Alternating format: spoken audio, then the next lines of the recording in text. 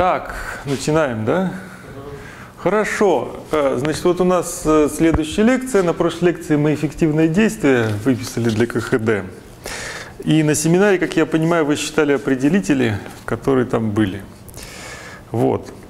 Причем, э, причем, вот раньше, на прошлой лекции, что мы делали? Мы говорили, что ну вот давайте мы глионное поле оставим. Глионное поле оставим.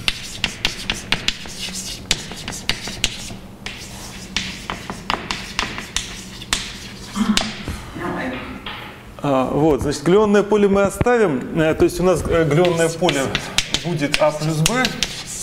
Соответственно, А квантовое поле.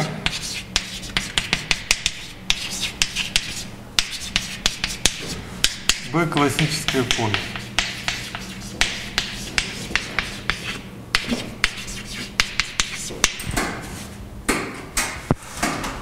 Ага, спасибо.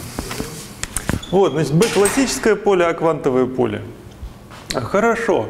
И мы говорили, э, вот еще у нас там были поля духов, С, да, и еще были поля пси, фермионные. И мы говорили, вот давайте мы, э, значит, эм, эффективные действия напишем, ну, по факту для теории Янга Милса. То есть у нас будет одно классическое поле B, а вот эти все А, С и пси будут квантовыми полями. Мы по ним функциональный интеграл возьмем, у нас будет три определителя. Один определитель по А, один определитель по С и один определитель по ПСИ. Вот. И они нам будут как-то э, менять э, заряд, с которым взаимодействуют поля B друг с другом.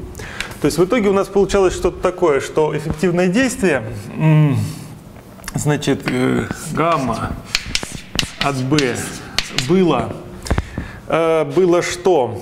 Было что-то такое, вот э, минус 1 э, четвертая, э, значит, интеграл d4p 2 четвертый, а тут f меню а от минус p, f меню а от p, от p вот, и на некий эффективный заряд G от P в квадрате.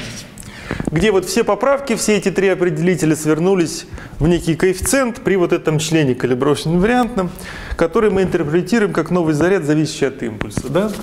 Вот, и этот у нас был вот такой g в квадрате от p. Значит, это было единица g в квадрате, ну вот какого-то там масштаба μ которой мы убрали все расходимости единицы на эпсилон, константу Эйлера и так далее. Вот, а плюс или минус, так, как я писал, описал я, наверное, вот так. Плюс бета-0 на 4π в квадрате, э, бета-0 на 4π в квадрате, э, значит, логарифм, логарифм э, минус в квадрате на m в квадрате. Э, вот так, наверное, я писал. Так, помните такое? Вы вообще видите нормально, как тут написано на доске? Звук. Так, ну вот э, он уже ушел. Но я погромче буду говорить. И запись э, будет вот эта вот, э, которая сейчас идет. Я не знаю, в каком она качестве до вас доходит. И запись будет вот как обычно. У нас тут камера стоит, а я ее туда же положу, где обычно. Вот. Так, вот это значит э, все знакомо, да? Э, хорошо. Э, теперь а, это э, мы по факту отинтегрировали все поля кварков, у нас нету кварков. А, есть только поля глюонов, но мы же можем... И в итоге что мы получили? Мы получили эффективный заряд. А, но мы можем сказать, что вот смотрите, мы можем то же самое сделать с полем пси, написать это фи плюс хи, где, соответственно, пусть у нас, скажем, э, ну вот у меня там э, в записях хи это квантовое поле, а я не знаю, вот φ это классическое поле. Вот, и удержать фи апохи проинтегрировать так же, как вот мы делали до этого. И тогда что у нас получится? Э, э, ну, у нас получится, во-первых, вот это, оно как было, так и останется. И в этом сейчас убедимся. Вот, но получится что-то э, такое, э, плюс, э, плюс, соответственно, будет интеграл d4p, э, значит, помножить на э, фи некое, э, оно слегка изменится, поэтому я его напишу вот так, r от минус p, э, соответственно, там должно быть и d со шляпой, минус m r от p, э, значит, фи r от p. То есть вот это я написал ответ, сейчас мы его будем получать. То есть, э, если мы оставили поля фи, э, как наши классические, которые у нас есть, да, то мы э, получим на них естественной скалибровочной инвариантности вот какую-то такую структуру. Грубо говоря, вот тут будет структура с d со шляпой, вот, при ней будет какой-то коэффициент, да? Вот, этот коэффициент мы пополам по корню из этого коэффициента засунем в это поле и в это поле с чертой, да? Вот. А, и здесь будет какой-то коэффициент. Этот коэффициент мы поделим на вот этот, ну, потому что поля э, с той же нормировкой должны быть. И то, что останется, мы назовем э, новой массой эффективной. Понимаете, что мы сейчас делать будем? А физически это что будет означать? То есть у нас раньше оставались миллионы, а теперь еще и Э, Да, физически это будет означать, что мы вот такие источники ввели, что вот у нас есть некое кварковое поле. Да, то есть вот э, кварки э, остались. Э, то есть э, э, вы просто э, написали эффективное действие, то есть эффективную теорию, в которой есть не только вот поля глюоны, да, но и поля кварки. Вот, то есть это уже будет эффективное действие для КХД. То есть и кварки, и глюоны присутствуют. Если вот это, это фактически некое эффективное действие теории Янга Милса, там только глюоны есть и все. А кварки заинтегрированы. То есть все э, радиационные, э, эти самые м, квантовые поправки, связанные с наличием ква- кварковых полей, они вошли просто в эффективный заряд. И, э, например, вы, э, у вас нету э, как степеней свободы вот кварковых полей, вот здесь, да? Вот, то есть вы не можете рассмотреть э, взаимодействие, там, я не знаю, кварка-антикварка вот, вот с этим Лагранжаном, потому что кварков там нету просто. Вот. Глюонов, например. Ну вот там, я не знаю, для взаимодействия глюонов, вот, пожалуйста, одних. Да, глюоны, глюоны. Вот. А если мы оставим это поле, ну у нас и кварки будут тоже. Вот. А, вот, давайте это делать. Да. Там что записано? Там записано D4 фи на 2 пи в четвертой, да? Да. Так, а потом фи r, а r это индекс. Ну, R это будет э, перенормированное. Вот. Э, В том смысле, что э, вот раньше, я, я еще раз говорю, какой в этом смысл? Мы сейчас посчитаем э, вот эту поправку, да, и она будет иметь такой вид. Она будет иметь вид интеграл d4p на 2p в четвертой.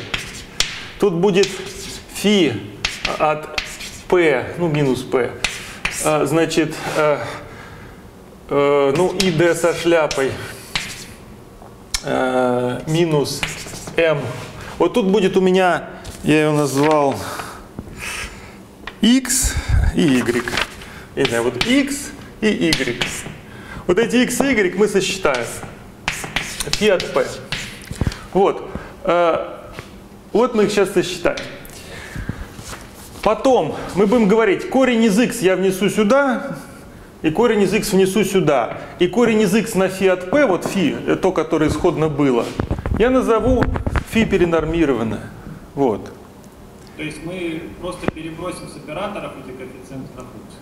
Э, Это уже будут просто функции p, не операторы, поэтому мы их просто внесем в определение фи. Вот. Таким образом, у нас э, структура э, Лагранжана сохранится, только поля изменятся на некий коэффициент. Вот. А я о нем уже говорил там раньше, это z, да? Э, на некий коэффициент. Вот. И масса изменится на коэффициент, грубо говоря, y делить на x. Там, ну, вот. Э, вот так. Идея в этом. Конкретная реализация вот сейчас будет. Вот.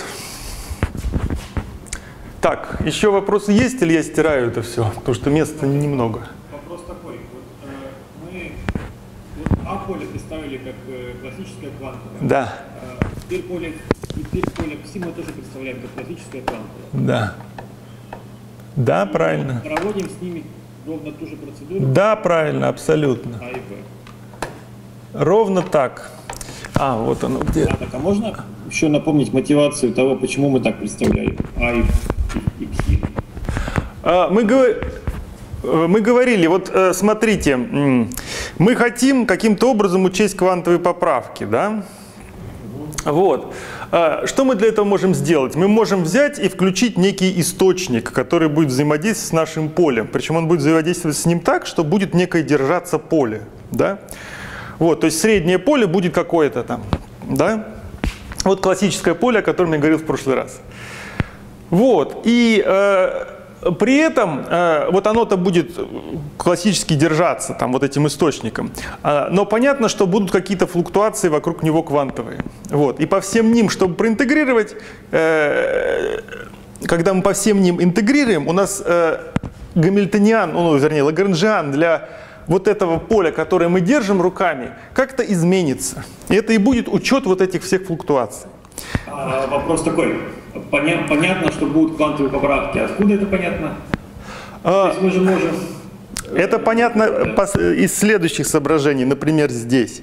Э, Из тех соображений, что классические э, уравнения движения – это принцип наименьшего действия. Да? Вот. А мы тут, э, что такое принцип наименьшего действия? У вас есть единственная траектория, которая вам э, дает стационарную фазу в действии. То есть это уравнение движения просто Эйлера-Лагранж. Теперь, когда мы писали функциональный интеграл и все вот это, мы, мы говорили, что на самом деле мы суммируем по всем траекториям, да? Вот, не только по вот той, которая дает стационарную фазу и классические уравнения движения. Когда мы суммируем по всем траекториям, э, у нас получается, что э, это все равно, что вы вот вычисляете интеграл какой-то методом стационарной фазы. Да? Если вы возьмете просто вот э, значит, ну или перевала там, да, вы возьмете главный вклад, это вклад уравнений движения, но вы дальше можете поправки считать, да, вот, и это будут поправки, э, значит, по э, фактически, а, вот у вас стоит e в степени и s, да, на самом деле там стоит и h, вот, h малая величина, да, и поправки э, к вычислению интеграла методом стационарной фазы э, это поправки при малом h. Там, да? Вот. Э, вот так. В степени. То есть это, это, все из-за того, что ну, наш метод так работает, что мы вычисляем это интеграл по траекториям, и поэтому там, ну, то есть там должны быть вот эти квантовые поправки. Э, Ну, это в этом методе э, они возникают таким образом. Если вы хотите сказать в методе вторичного квантования, э, то ну, у вас просто есть, у вас просто есть разложение, э, м, ну, у вас есть петли, да? Петли. То есть к любому процессу вы будете, когда считать его амплитуду, ну или там амплитуду, да, э, у вас будут петлевые поправки. Вот, собственно, они и есть квантовые поправки. И эти петлевые поправки, вот как вы делали в CAT, э, расходящиеся части, мы можем за, за ввести в различные э, константы. Вот у нас есть голые константы масса, заряд. Вот мы в них э, вот эти все расходимости можем убрать. Это и будут вот эти квантовые поправки э, и перенормировка заряда массы, соответственно.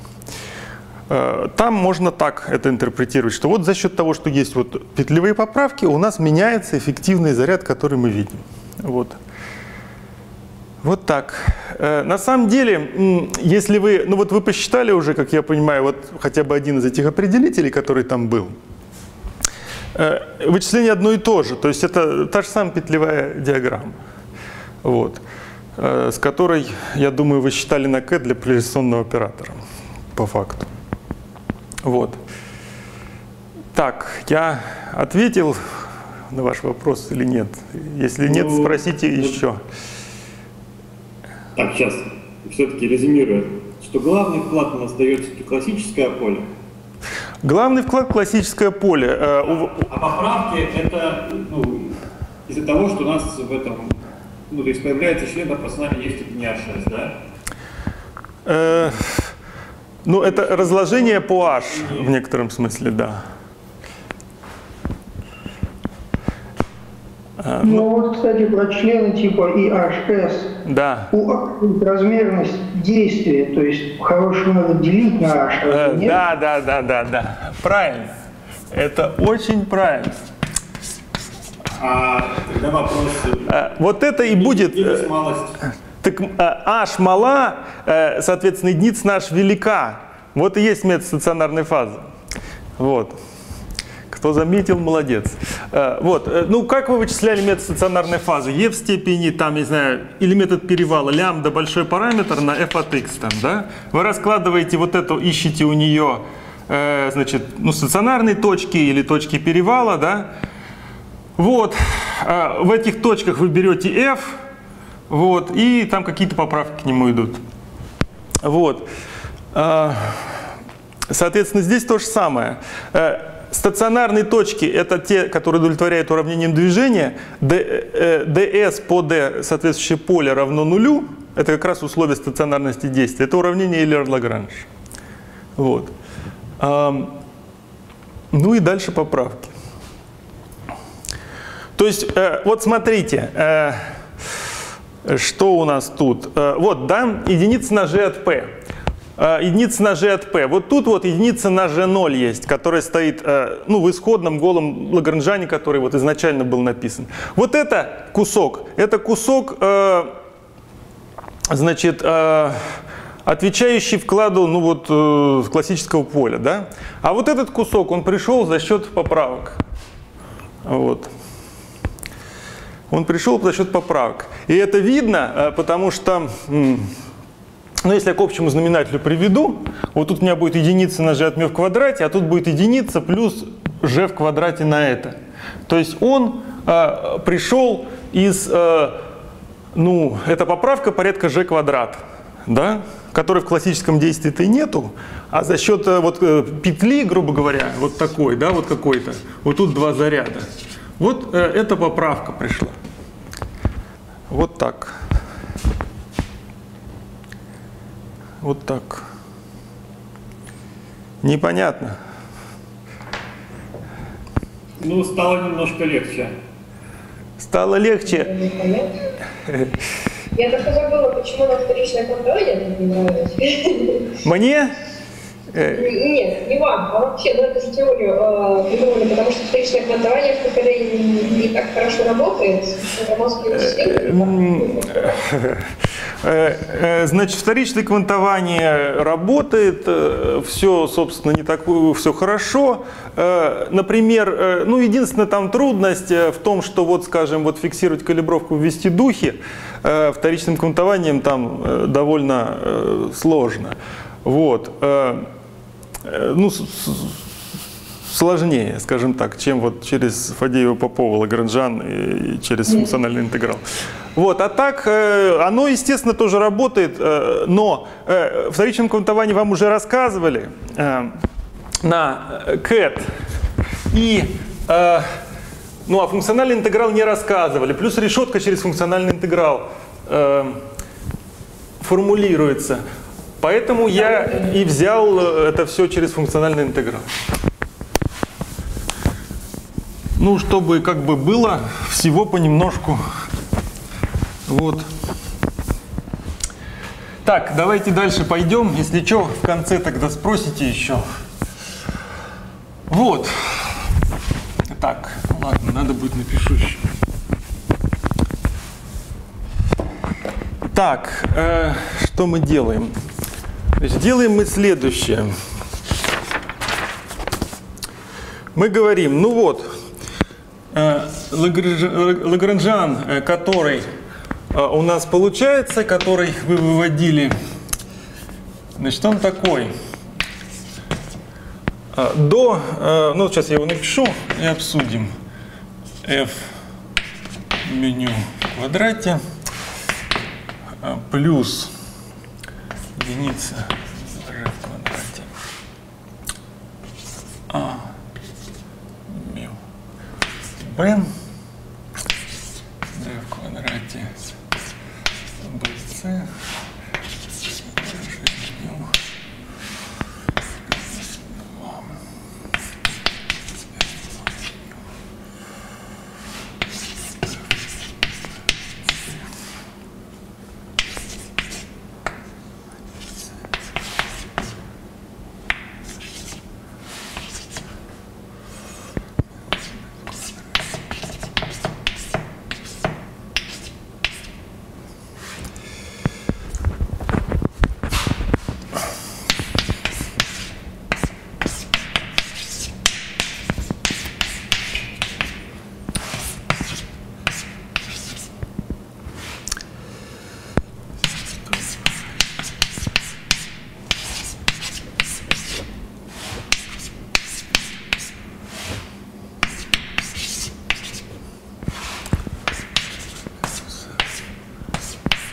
И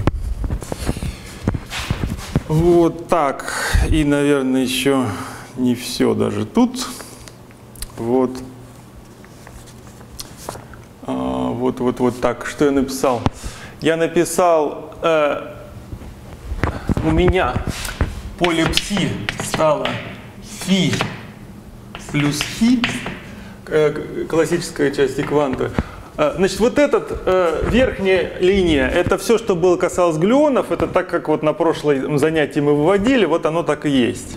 Значит, здесь я э, вместо пси пишу фи плюс хи, и когда я разлагаю, у меня получается фи-фи, хи-хи, вот. И на самом деле у меня будет еще, э, у меня будут еще члены типа, типа, скажем, э, вот тут вот фи с чертой и d со шляпой минус m, хи плюс хи с чертой и d со шляпой минус m, фи. Вот, наверное, все написал. Так, понимаете, да, что я делаю? Я подставил вместо пси фи плюс хи. А, Вот, чтобы мне э, сосчитать э, эффективные действия, я должен взять квадратичную по э, квантовым полям часть. Вот если раньше, вот здесь у нас просто квадратичная по квантовым полям часть уже выделена. Вот. То есть это константа, когда я считаю функциональный интеграл по А маленькому, да, по С. Э, вот эта константа, это действие просто от классического поля. Вот. И э- э- эти, значит, у нас уже посчитаны. Теперь здесь вот это, это та же самая константа, как и вот это. Она не содержит э, квантовых полей. То есть это классический лагранжан, да? Вот кусочек. Вот тут поле B, я напоминаю, тут тоже, да? Вот, квадратичная часть, а она вот такая хитрая, вот тут одно поле А, второе поле Хи, да? Вот это квадратичная часть. Э, вот здесь это тоже квадратичная часть. Ну а вот здесь э, на самом деле это линейная часть, поэтому вот эти я э, дальше рассматривать не буду. Вот, так же как вот здесь тоже есть какие-то линейные, они сократятся источником, все их нет. Вот. Поэтому, Откуда, откуда видно, что это линейная часть? э, потому что э, у них единственное квантовое поле хи. Вот тут вот поле B, оно классическое поле фи, оно классическое квантовое поле хи, соответственно, в методе стационарной фазы его не будет. Вот, ну и здесь не будет. Вот я их убрал. Хорошо. Э, Что нам нужно сделать, чтобы сосчитать функциональный интеграл такой смешанный? Его вот так просто не сосчитаешь. Э, Чтобы его считать, э, ну то есть, во-первых, я напоминаю, что это Грассманово поле, а это обычное, да? То есть это коммутирующее, это антикоммутирующее. Вот, вот, вот это мы умеем считать. Это будет определитель и d минус m, так же, как и раньше. Да? Вот. Ну а тут он э, смешан с полем А. Чтобы это э, смешивание убрать, надо просто сдвинуть. То есть что мы хотим посчитать? Мы хотим посчитать э, интеграл. э, значит, вот тут у меня м, dA, dC, dхи, d хи с чертой. А от e в степени и вот это вот э, L, значит, интеграл L до 4x. Вот. Э, как мы можем поступить? Мы можем сказать, ну вот давайте мы э, сдвинем так э, хи, чтобы э, хи это переменное интегрирование, да, вот если мы просто хи будем сдвигать, у нас мера не изменится. Э, соответственно, если мы хи сдвинем так, чтобы вот, вот эти э, члены убрать, чтобы у нас э, вместо перекрестных членов А и Хи э, э, ну, мы матрицу приведем к диагональному виду. То есть у нас что-то добавится к Хи и что-то добавится к А. Но зато перекрестные члены умрут. Значит, как это делать? Вот мы скажем, что Хи перейдет, у нас будет, это Хи штрих плюс, плюс, значит, плюс минус. Минус единица. Мы, мы убиваем эти диагональные члены, приводя, ну, то есть просто делая преобразование. Делаем преобразование. У нас матрица по факту такая, э, что у нас, э, что стоит вот тут вот. У нас тут стоит e в степени i, ну если в матричном виде писать, да, Э, у нас некий столбец типа а, хи, там я не знаю, а и хи, вот тут вот, да, а тут хи с чертой, э, так, наоборот, тут хи с чертой, тут хи и а. Э, даже вот так вот сделаем. Хи, э, с чертой хи. Вот матрица 3 на 3. У нас три переменных, да? Вот. И у нас есть член А, наоборот. У нас есть член А, хи с чертой хи, да? У нас есть член А, АА, вот тут он какой-то, это вот этот. Вот. А, у нас член есть А, э, значит, тут у нас э, есть член Значит, э, хи с чертой, хи с чертой тут ничего, хи на хи тут ничего, э, хи с чертой на хи тут что-то есть. Э, ну, хи на хи с чертой это одно и то же. Но вот тут вот у нас что-то есть. Это вот этот член, да? Вот. И на самом деле у нас есть вот, э, вот тут вот некие члены, которые, э, которые содержат с одной стороны А, с одной стороны А, с другой стороны хи или хи с чертой. Это вот эти. Да? Вот. То есть у нас вот, вот эти вот заняты еще. А я хочу эту матрицу привести к вот такой. Чтобы вот тут у нас что-то было. Ну и вот тут, грубо говоря, у нас что-то было. А тут вот были нули. Потому что вот эту я считать умею определитель, это вот такая матрица. Вот, и вот эту, это у меня будет произведение определителей. Понимаете?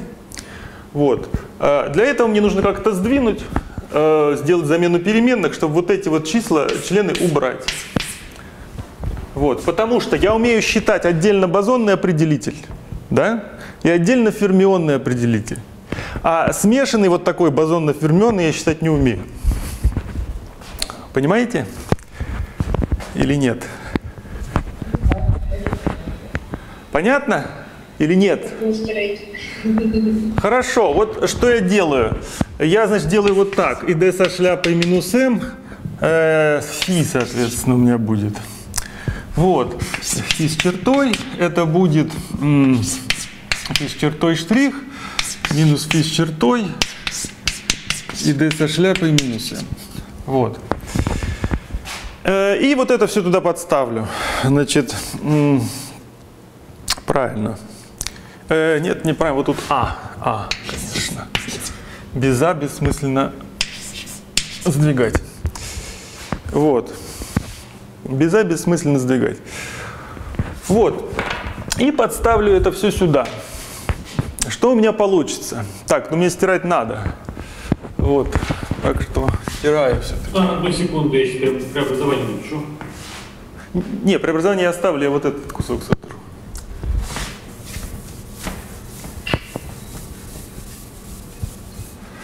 Значит, э, ну давайте смотрим сюда. Под, э, так, вот это у меня стоит и стоит себе. Фи я не меняю. У меня вот эти три члена изменятся. Что у меня будет? Первый член, э, значит, я вот так. э, вот эти три члена буду писать. Значит, что это будет? Это будет фи с чертой, а со шляпой вместо хи ставлю вот хиш, значит, хи он остался. Минус, так, фи с чертой, а со шляпой, фи с чертой, а со сейчас первый член пишем, да? Мы пишем первый член. Э, минус э, фи с чертой, а со шляпой, вот это, соответственно, единица на id со шляпой минус m, а фи. Вот, написал. Первый член. Второй член пишу. Значит, плюс фи с чертой, штрих, а со шляпой фи. Значит, минус м, э, фи с чертой, а со шляпой единица на id минус m. Э, значит, на id минус m, а со шляпой фи. Вот. И последний пишу член. Он большой. Значит, тут будет плюс хи штрих d со шляпой минус m хи. Штрих это как было. Значит, минус э, минус, э, скажем, я вот этим пользуюсь. У меня будет фи штрих а со шляпой. Дальше вот они сократятся, да? Э, значит, они у меня сократятся. Это будет фи. Э, это будет хи. Э, ну, скажем, хи штрих. Вот так. Э, первый вклад. Вот здесь, да? Хорошо. Так, э, раз. Что еще будет? Это я подставил вот это, да, вот это сейчас подставлю. Э, Соответственно, будет минус хи-штрих, значит, так, хи-штрих, это я вот это взял, так, это я вот это взял, значит, и d дальше идет, дальше с этим сокращается, тут будет а со шляпой, Э, так, фи, да, вот так. И будет, э, когда я дважды возьму вот эту сдвижку, у меня будет э, плюс, плюс фи с чертой, э, фи с чертой, а со шляпой. Значит, единица на id вот с этим сократится. Вот. Но потом у меня снова будет единица на id и а. Итого будет id со шляпой минус m, а со шляпой фи. Вот. И должно быть, что вот они у нас сокращаются. Эти два с плюсом, а эти два с минусом. Вот. В итоге перекрестных нету. Вот. А есть квадратичные. Вот видите, тут 2, тут 2, значит, э, тут 2, а тут 2 хи.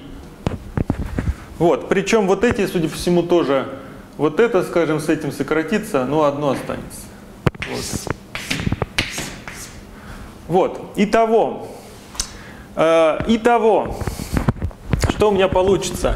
Э, у меня получится, что вот эти три слагаемых после замены переменных перешли в...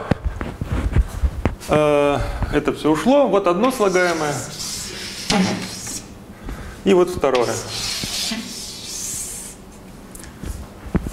Оба квадратичны. То есть из той матрицы, я как говорил, я вот эти недиагональные члены убил. Вот. Э, Хорошо, а такие функциональные интегралы я брать умею. Вот я сейчас их возьму и это ответ напишу. Так. Это я стираю. Значит, это я стираю. Вот. А, Причем, смотрите, интеграл по духам, он как был, так и остался, э, я его трогать не буду. А интеграл э, по хи, он на самом деле тоже как был, так и остался. Вот помните, э, тот, что я в прошлый раз делал, ну он вот ровно такой, какой был. Определитель. А изменился на самом деле определитель по А эффективно. Вот тут 2, вот кусок, который был внутри, да? Вот, и к нему добавится вот этот кусочек. Вот. Вот так. Итого. Итого. Э, итого. Значит, что будет? что будет? Значит, что будет? Е в степени эффективное действие, оно теперь зависит от двух полей, b и φ. А, это будет У нас добавка теперь куда? Э, вот сюда. Вот смотрите, а, у нас э, вот этот на самом деле такой же, и был. То есть только раньше это были поля пси, а теперь это поля хи, но это не важно. А, Результат интегрирования, вот он как был определитель вот этого в степени nf, так и остался. Вот. А интеграл по а будет другой. Вот к этому куску добавится вот этот вот кусочек, вот Ага, видите, тут понятно. два. Сейчас я его напишу. Значит, это было э, e в степени, э, значит, и.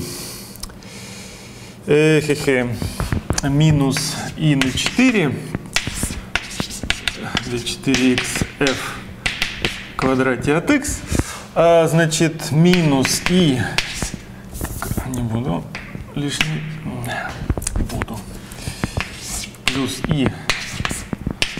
До 4х фи от x и d со шляпой минус m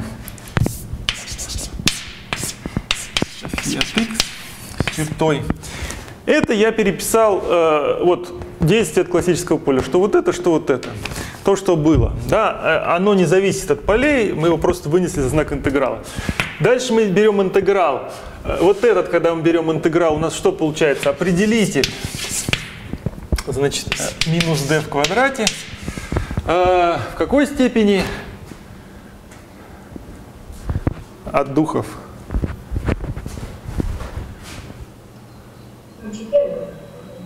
В какой? В какой? Я не слышал просто. Первый. В первый правильно. Правильно, в первый, плюс один. Значит, вот от этого по полям хи берем. В какой степени будет?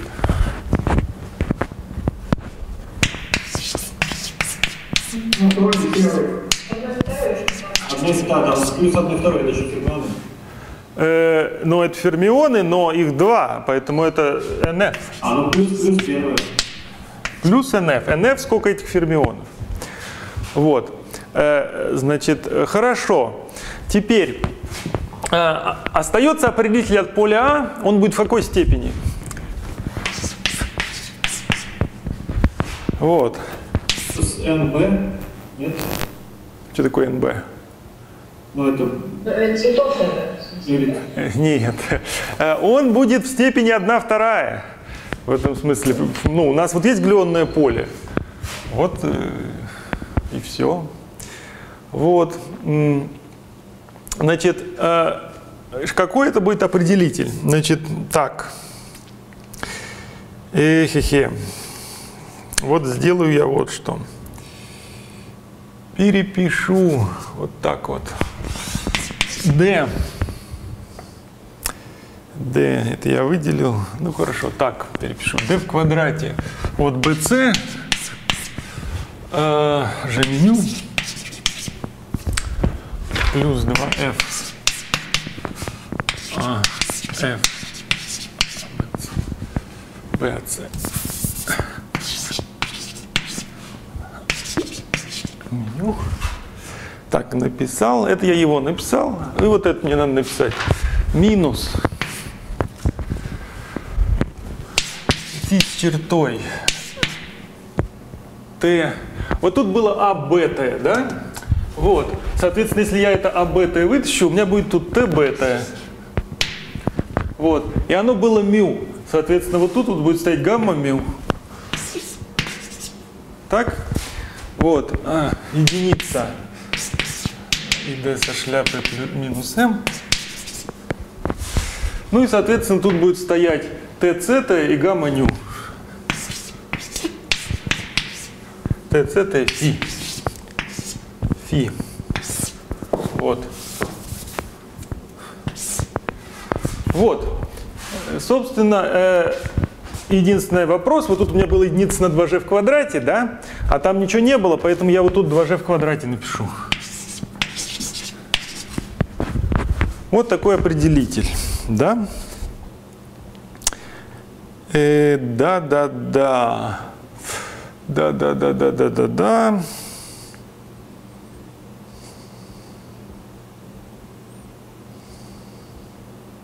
Да, правильно. Вот, я напоминаю, что вот эти единицы на 2g в квадрате мы просто там выкинули в общую константу, вот, которая перед всем этим стоит, которая не меняет уравнение движения. То есть вот новый определитель. Так, понимаете? Это я все стираю тогда. Все стираю.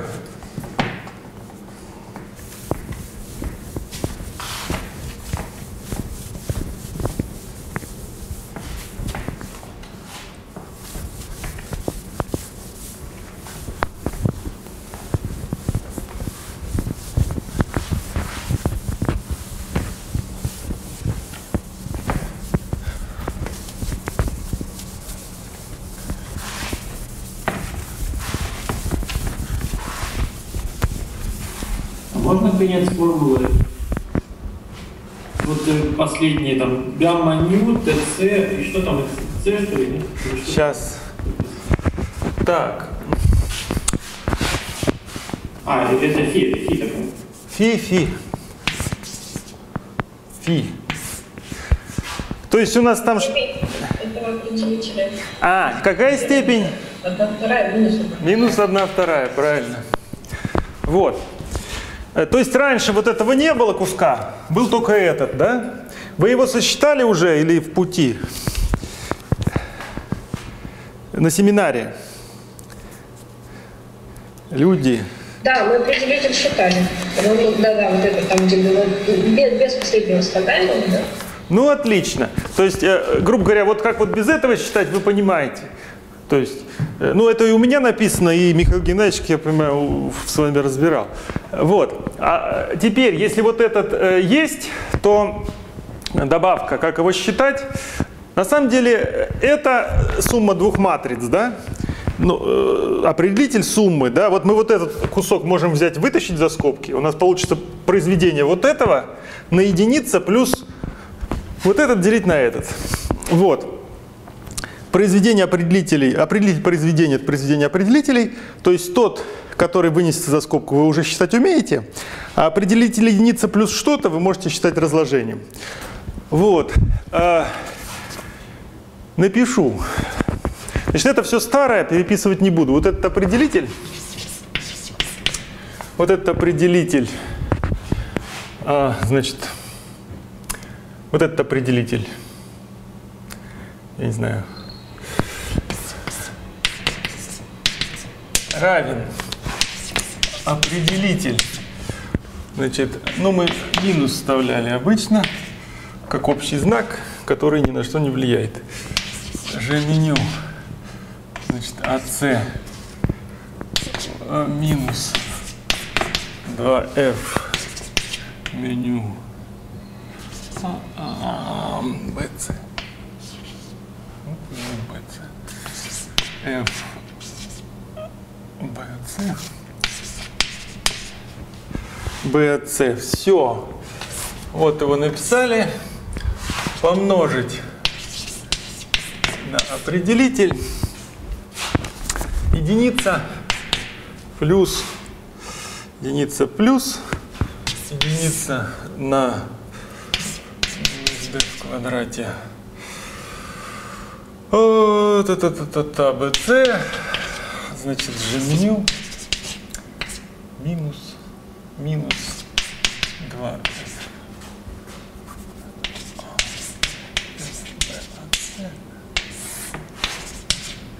Вот, помножить. С чертой. С чертой. Т.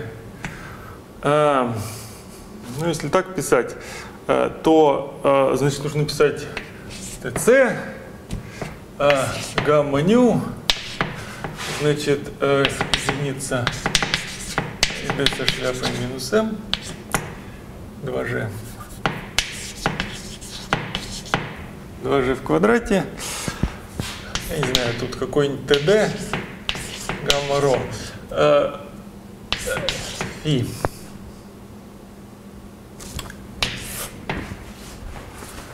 Так.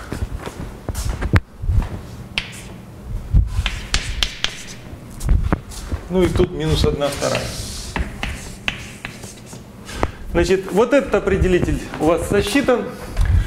Вот этот определитель, вот этот определитель, он, ну, на самом деле он вычисляется абсолютно аналогично. Вот, как e в степени трейс логарифм.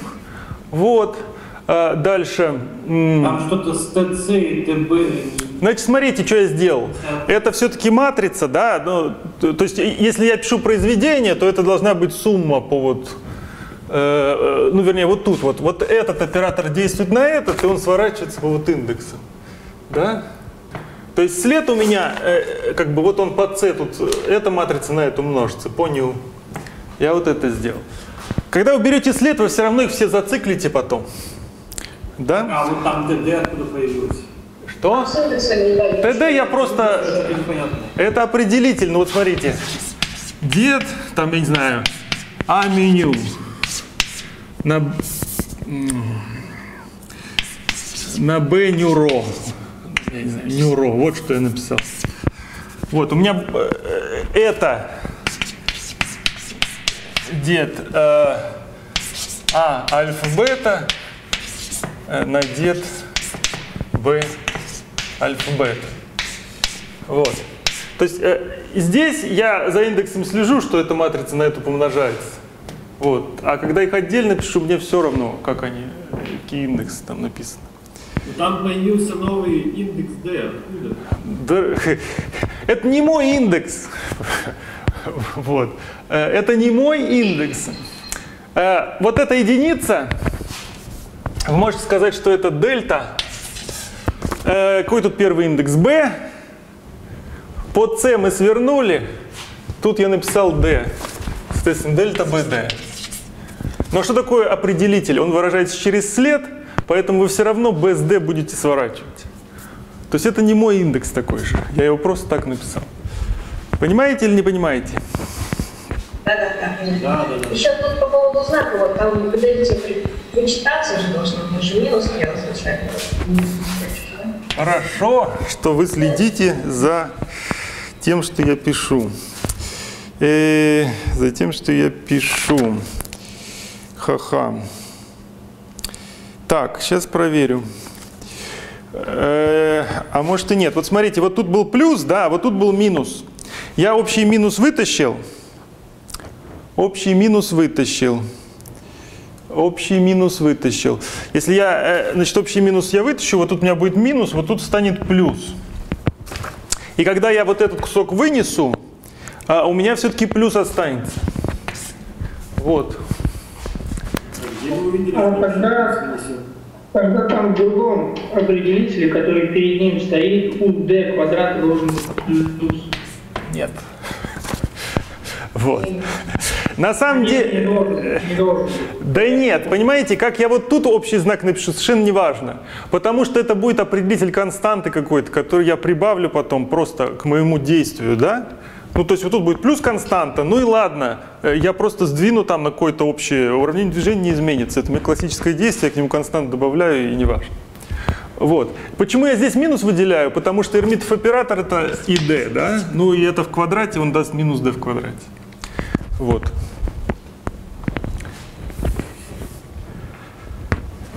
Так, а вы, вы еще сказали о том, что вы сейчас что-то будем раскладывать. Э, Не будем. На семинаре разложите. Я не хочу, не хочу его сейчас считать Ну, надолго, да. Он же там маленький, никто не говорит, что он Ну и что? Э, Вы всегда можете, когда вы будете делать, э, вы можете... Ой, э, значит, вы можете говорить, что, значит, вот смотрите, я вот сюда буду вставлять полный набор состояний импульсных, да, и у меня будет вот это в импульсном представлении, на вот это в импульсном представлении, да, например. Вот. Отсюда я вытащу d в квадрате, вот, значит, отсюда я вытащу d в квадрате. У меня будет d в квадрате с минусом на единица плюс что-то там. Вот, и буду это раскладывать себе. Кто мне мешает? Э, все равно э, функция от оператора, да, это разложение в ряд Тейлора по определению. Поэтому ну и буду я его раскладывать. В чем вопрос? Вот, это э, некие операторы, я их просто раскладываю. Вот. Э, Вы мне хотите сказать, что вот тут малости G нету, и вот плохо. Но еще раз, вот как вы считаете e в степени оператор А? Он не мал, ничего. Ну вот, ну, а здесь не e в степени А, единица на что-то там. Ну, ничем не хуже. Вот. Тогда бело разложить, а другое разложить, пренебречь стабильностью. То есть, ну, это не семинаре, да, это всё. А, ну, вы на семинаре э, делали вот этот, вот, вот э, так же будете раскладывать. Тут вы что делали? Вы d в квадрате вынесли, остальное разложили. Я думаю, вы так считали. Вот. Здесь также будет, вот d квадрате вынесли, остальное разложили, помножили на вот это. Вот. Когда берете след, тут куча членов умрет, а останутся какие члены? Что останется? Что говорите?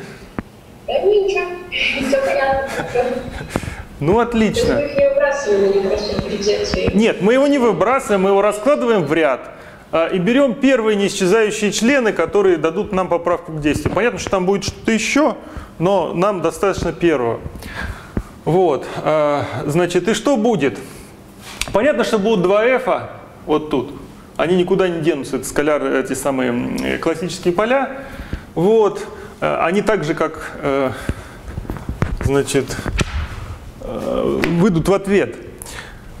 Из калибровочной инвариантности вы ответ просто напишите, что вот это все, вот этот определитель, будет равен. Значит, вот я тут определитель написал в степени минус 1 вторая. А, Вот я, у меня ответ логарифм определителя, поэтому я вот тут логарифм добавлю и ответ напишу. Значит, ответ этот будет такой. Минус 1 вторая и э, 2g в квадрате cf cf на 4π в квадрате. Интеграл на 4p. Это уже для логарифма, да? Это для логарифма, да. То есть это то, что пойдет в экспоненту и добавится вот к, эффек- к- к самому действию от классического поля, да? Вот, э, значит, э, тут CF, э, ТТТ, фи от минус P, x на P со шляпой, плюс y на m, на фи от P. Плюс, ну, там что-то типа О большое от эпсилона. Но оно мне сейчас не важно. Где x и y. Так, убираю это все.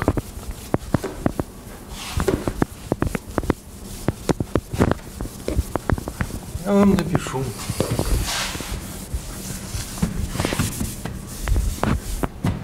Значит, x и y, это мне пригодится. x это x это минус, минус единица на эпсилон, минус гамма Эйлера, минус логарифм.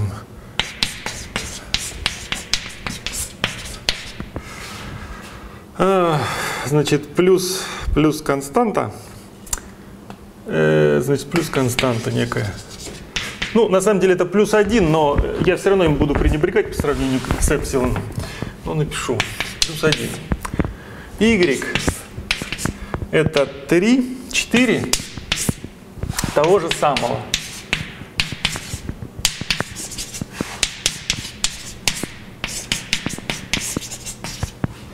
Ну, плюс другая константа. 3 вторых. Вот. Э, То есть это результат вычисления вот того петлевого интеграла, который у вас тут получится. Когда вы будете вставлять э, импульсы, единицу в импульсное представление, у вас получится некий интеграл по импульсам, вы его возьмете, ну вот он и будет. Вот.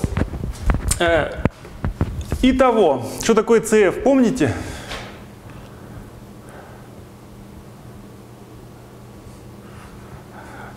Константа при операторе генерации. Отлично.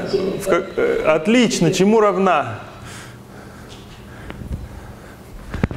n квадрат минус 1 поделить на 2n Да, правильно. То есть, что такое CF на самом деле? Это след TC.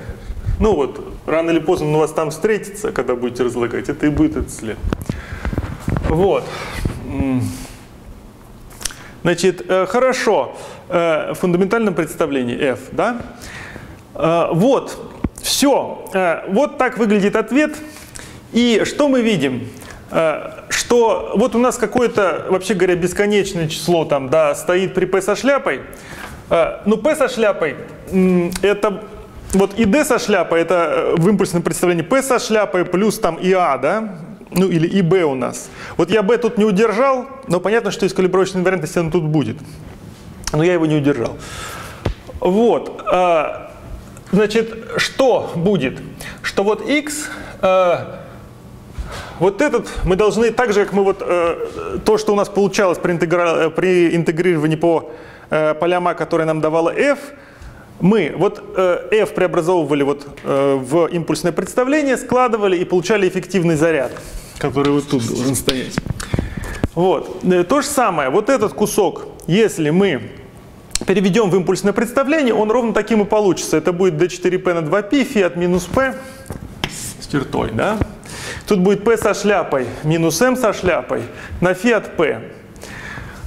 Соответственно, единица плюс x это будет, э, мы должны единицу плюс x э, по половинке воткнуть одну в поле фи сюда, вторую в поле фи туда, а, э, соответственно, единица там, ну, плюс или минус y, сейчас сообразим, э, мы должны э, воткнуть в массу, ну, деленной на x. Вот, это то, что я говорил в самом начале. Вот давайте это сделаем и получим, как у нас меняется масса. Так, э, что бы стереть? Ну, я это сотру. Вот, то есть в итоге что будет?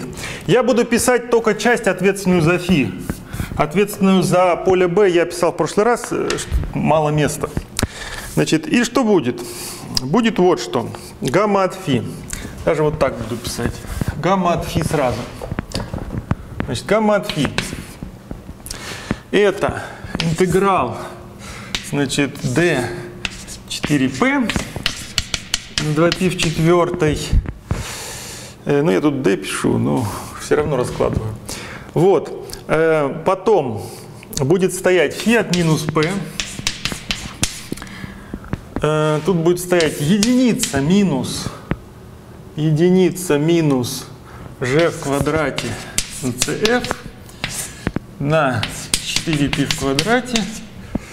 квадрате на cf на 4π в квадрате. Это я вот это написал. Э, квадрате на x. Вот. Э, да, что-то я размахнулся. Помножить на p со шляпой. Так, p со шляпой минус m. Вот тут будет стоять. Э, это я вычел. Значит, единица плюс y. Плюс y. g в квадрате cf 4π в квадрате. Ну и вот это, я на него поделить должен. Единица минус x g в квадрате cf 4π в квадрате. Вот. Так, тут я чуть-чуть подвину. Значит, это был x, это был y. Вот, на фи, фи от p. Вот. Да. Вот так. Понимаете эту запись? Да, мы не видим. Ну, в смысле, там... Не, видеть а, недостаточно, нужно понимать это. Как бы. Понятно или непонятно? Ну вот смотрите, тут есть x, да, помножить на вот это все, g квадрат, cf на 4π в квадрате. Вот на вот, на вот это, да. Э, Вот есть x. Но э, в, в действии э, чисто, значит, действий тока от э, э, внешнего поля фи, э, там была единица. Ну, оно просто было фи на p со шляпой на фи, да? Фи на p со шляпой минус m на фи. Так? Оно такое было. Вот. Я эти два члена сложил. Единица пришла из действия э, для э, внешнего поля. Вот. А вот это пришла из квантовых поправок. Вот она. Понятно или нет? Или я напишу? Поправок пришла вот это вот э, g квадрат cf на x. Ну, в квантовой поправке они идут g квадрат, да.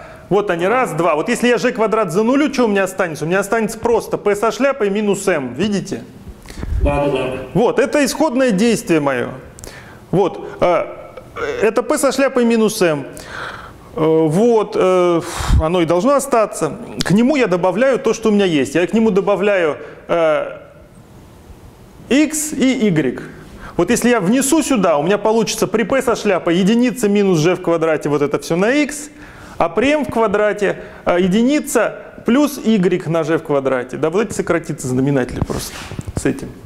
Вот, вот оно и есть. Единицы – это исходное действие, а x и y – вот они поправки. Хорошо или нет? Или написать? Да нет, понятно. Понятно, хорошо, идем дальше. Вот, после чего я ввожу вот то, что я анонсировал. Значит, это я убираю.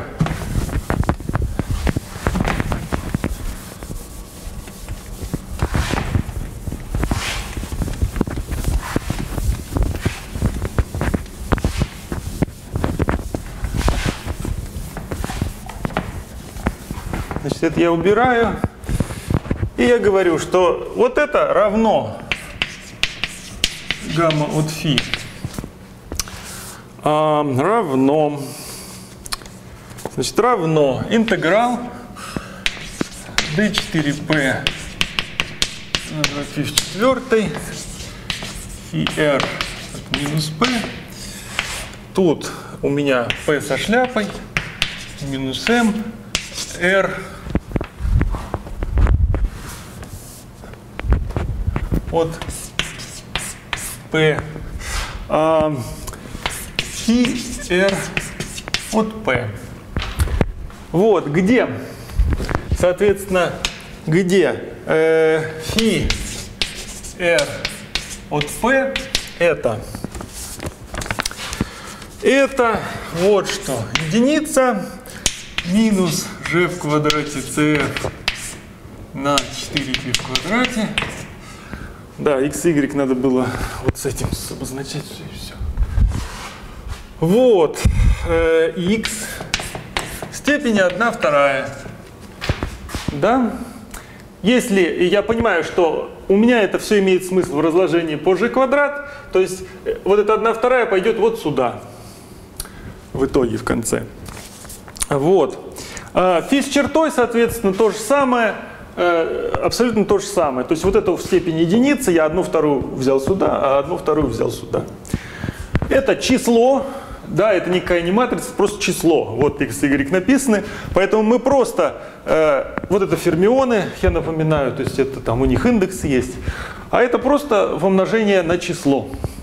Вот, на фи от p. Вот, а mr от p это соответственно мы должны вот старую массу, э, исходную, которая была в Лагранжане, на вот это вот помножить. Э, отношение. Значит, э, отношение, опять-таки, я его в разложении возьму.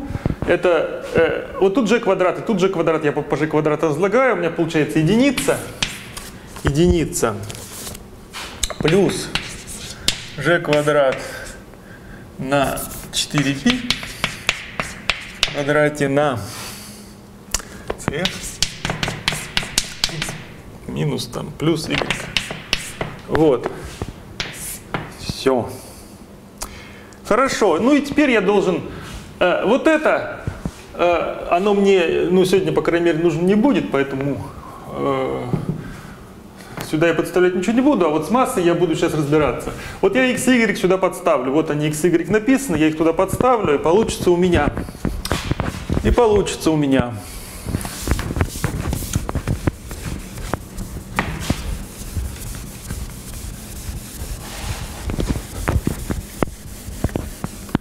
И получится у меня. Ну, не знаю, минус писать. Нет, наверное. От P, да? Значит, это m на единица плюс g квадрат на 4p в квадрате cf. Так, cf на 3. Ну, значит, 4 минус 1, да, и вот это. За этими константами я следить не буду. Вот. Ну, можно последить, но э, я не буду. Вот. А, значит, помножить на минус единица на эпсилон, минус гамма, минус логарифм минус p в квадрат на 4π в квадрат. Вот. Ну, хотя мне ничего не стоит, у меня написан ответ. Плюс 5 третьих. Вот. Вот, э, значит, такая у нас масса. Теперь мы опять можем сказать, что вот смотрите, э, вот это э, нам неизвестно что заранее, это некая константа, стоящая в Лагранжане. Мы можем включить в нее, в нее вот эти все расходимости, единицы на эпсилон, э, ну, с чем-нибудь, вот с гамма Эйлера, с единицы на 4π, скажем. А можем мы вот с этим включить, это будет просто другая схема, так сказать, перенормировки, да? Вот. Э, и написать так, что m, э, написать так, Ага, это еще не все. Вот здесь стоит G, голый заряд. Голый заряд. А, а заряд мы знаем, что такое уже. Так, мне, наверное, уже не надо ничего из этого.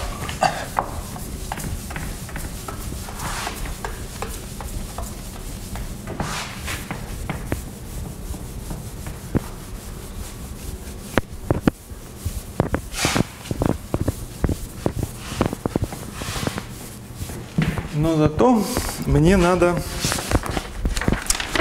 вот это. С прошлой лекции у нас было что? Значит, э, э, так, так, так, так. Э, у нас было вот такое единица на g в квадрате, единица на g в квадрате от μ, и там минус b в квадрате, плюс бета 0 на 4π в квадрате. Так, а, значит, плюс бета 0 на 4π в квадрате. Логарифм. Логарифм. Э, так, так, так, плюс э, логарифм. Ох. Логарифм. Логарифм. Так. Единица на 4π. Вот так я определял, да? Единица на 4π. Не совсем. Не совсем. Не совсем. Не совсем. Э, Да-да-да, это я понимаю. Э, Я просто вот э, без индекса, вот, который исходный, через, ну как вот я мю что вводил. Тут мне не влезет, сейчас еще подальше. По-моему, я его вводил так, что единица на g в квадрате. э, ну, так, а, о, нашел. Нашел. Я его вводил.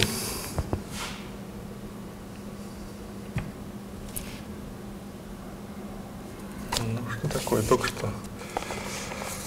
Э, только что.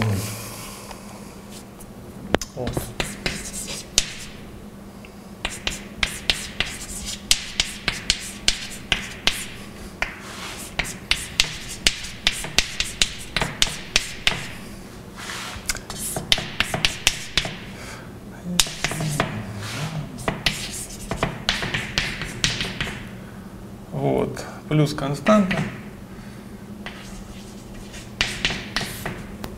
Вот, которая там была.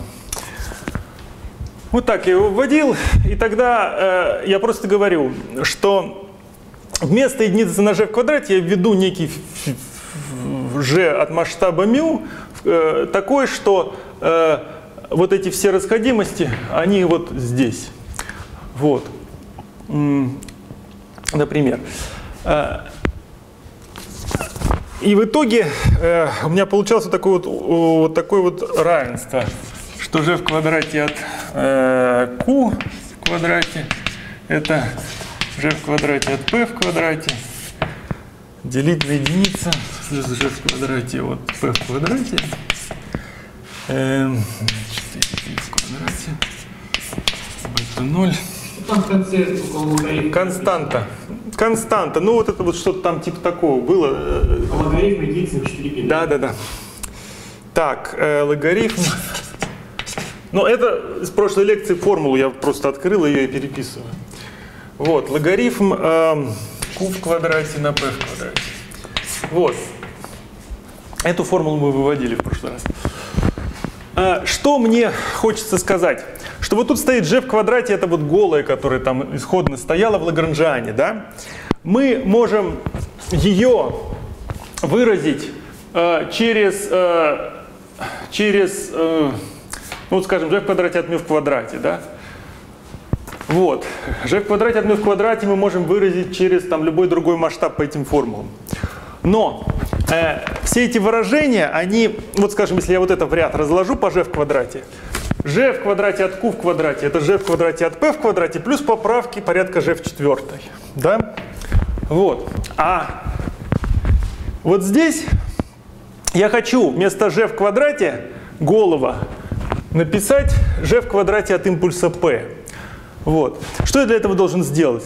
Я должен это g выразить отсюда и выразить все это в конце концов через g от p. Да?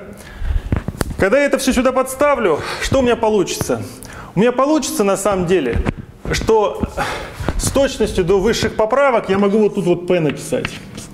Вот, потому что все эти поправки, они будут порядка G, ну, G в четвертой, а я их все равно не учитываю тут. Вот. Вот что мне нужно. Да? Вот что мне нужно. И э, после этого я хочу посмотреть отношения. Вот э, MR чтобы у меня масса вот голая сократилась. э, от p, скажем, на mr от q. Что это? Массы сократятся. Это я опять разложу в ряд. У меня получится. У меня получится. У меня получится. Мы хотим следующее. Мы хотим, э, вот эта масса от P, так? От импульса P, но она выражена через э, голый заряд, голую массу, которых мы не знаем, и какие-то расходимости. Так? Вот я хочу э, массу от P э, связать с массой от Q, так же, как вот здесь, чтобы никаких расходимостей не было. Но в этой формуле нет ни эпсилон, ни каких-то неопределенных величин. Это просто измеримые величины. Вот. И здесь я то же самое хочу. Для этого я должен организовать нечто, где они все сократятся. Вот я отношения организовываю, а вот здесь я заряд G голый заменяю на заряд G от импульса P. Поскольку с точностью э, значит, G квадрат я могу так сделать. Потому что с точностью G квадрат у меня масштаб вообще не фиксирован. Это поправка. Вот. Значит, Бегущую массу, да, он выводит, то есть? Что? При изменении масштаба, ну то есть раньше мы заряд выводили бегущий, а сейчас массу, да? Да, увидим сейчас бегущую массу. Вот, значит, мы отношения берем, вот эти голые массы сокращаются. Остается, и в ряд раскладываем, единица плюс g от p на вот это, минус g от q на вот это g. Вот. И в, этом, а, в этой разности сокращаются вот эти члены. Вот. А, сокращаются вот эти члены. А, значит, что будет? Будет Значит, будет, будет, будет, будет единица. Я пишу примерно. Будет единица минус g в квадрате э, значит, от p, сейчас g в квадрате от p, на 4π в квадрате cf на 3 логарифм, логарифм p был сверху, p в квадрате на q в квадрате. Вот что будет. И здесь я беру p примерно равным q, то есть недалеко, потому что если я возьму их далеко, то вот этот логарифм будет большой, вот, и он скомпенсирует малость вот этого заряда, и мне нужно будет следующие члены считать. Вот. Поэтому э, я говорю, что я возьму, что p оно недалеко от q, рядом. Вот. Тогда вот этот логарифм маленький достаточно, вот это разложение по константе связи g, оно, в общем, имеет смысл его использовать. Вот, это я их просто поделил.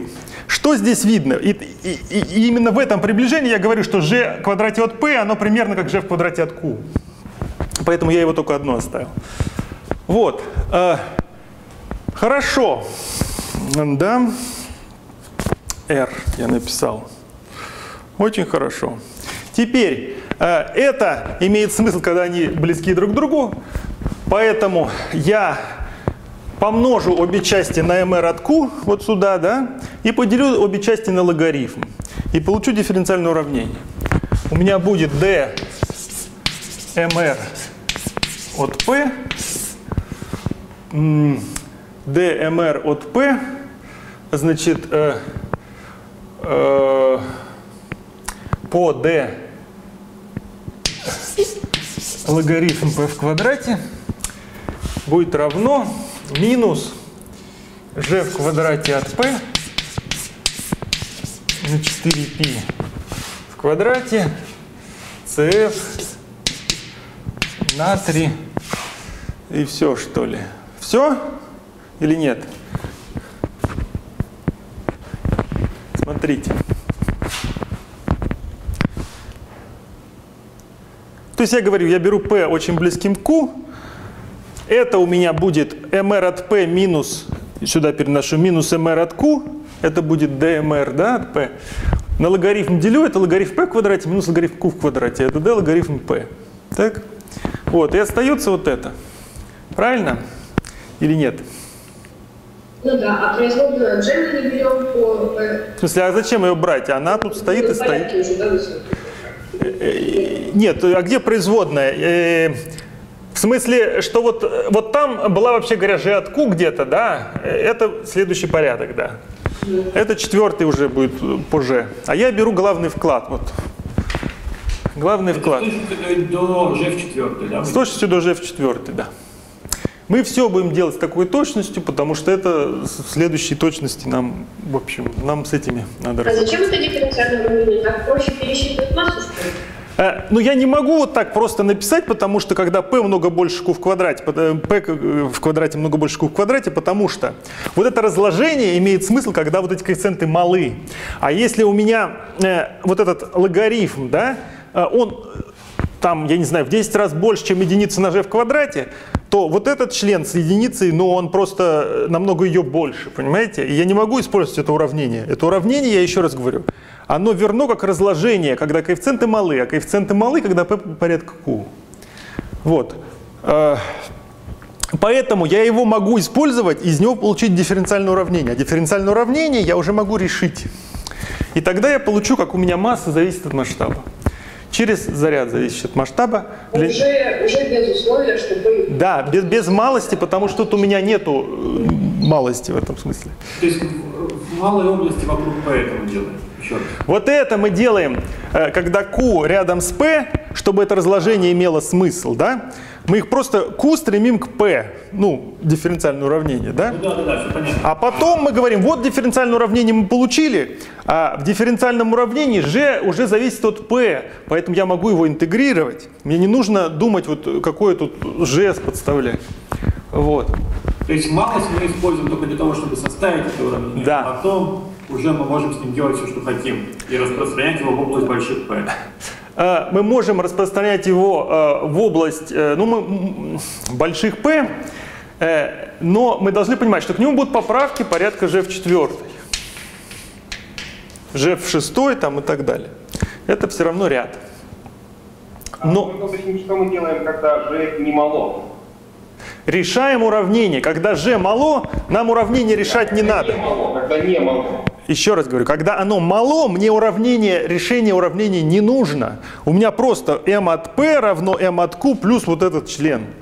А когда они далеко друг от друга, вот, э, мне э, как бы этого члена недостаточно. Мне нужно решить это уравнение.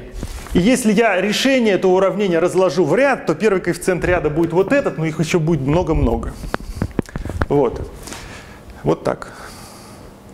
Но уравнение это не будет, если g не мало, правильно? Э, дифференциальное уравнение. Если g не мало, вообще все это не работает, поскольку э, теория возмущения не работает. Э, Ну просто я хочу понять, мы лямбда КХД, когда будем приближаться, что с этим совсем произойдет? накроется медным тазом. Э, Вот. э, Это теория возмущений. Она работает, э, так сказать, когда э, разложение по G имеет смысл. Вот, вот эти все формулы для массы, они получены в теории возмущений. Вот константный член плюс g в квадрате. Когда мы подходим к лямбда КХД, g в квадрате равно бесконечности от, от лямбда КХД. Поэтому вот это разложение не имеет смысла. Я сейчас немножко подробнее скажу э, о том, о смысле вот этих масс. Это массы, которые определены в теории возмущений, вот, и которые используются, ну там, я не знаю, вот для расчетов при э, пертурбативных расчетах, то есть когда P, оно ну, много больше лямбда КХД. Ну, может немного, но больше лямбда КХД, да, P в квадрате. Поэтому это так называемые токовые массы, вот то, что здесь написано. Э, Это массы, определенные в теории возмущений. Токовые массы. Вот давайте я сейчас уравнение это решу, и мы обсудим их немножко. Вот. То есть они определены вдали от лямбда КХД. G там мало. То есть вот это вот разложение имеет смысл. Вот. Если G не мало, нужно делать все по-другому, вот, вот как на решетке я там говорил. Ну, я там про массы не говорил, но аналогично делать с массами. Там. Так, э, еще вопросы? Нет вопросов, я решаю уравнение. Так, э, решаю себе и решаю. Вот. Э, так, хоть правильно уравнение написал.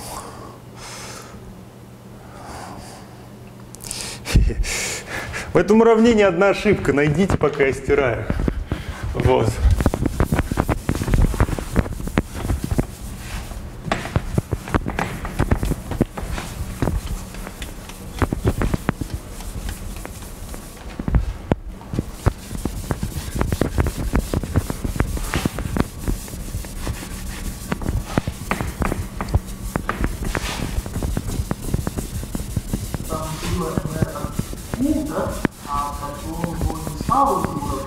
Ну мы Q стремим к P. Это дифференциальное уравнение. Оно получается, когда Q стремится к P.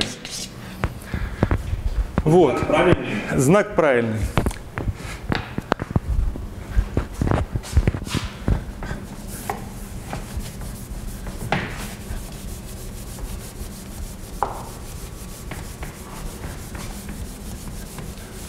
Так, это, наверное, мне еще пригодится.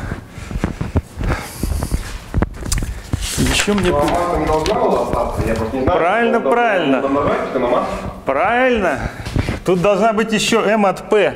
Вот я же на m от q помножил обе части. Вот тут я их вычел массы, а тут-то m осталось. Так? Видите, да?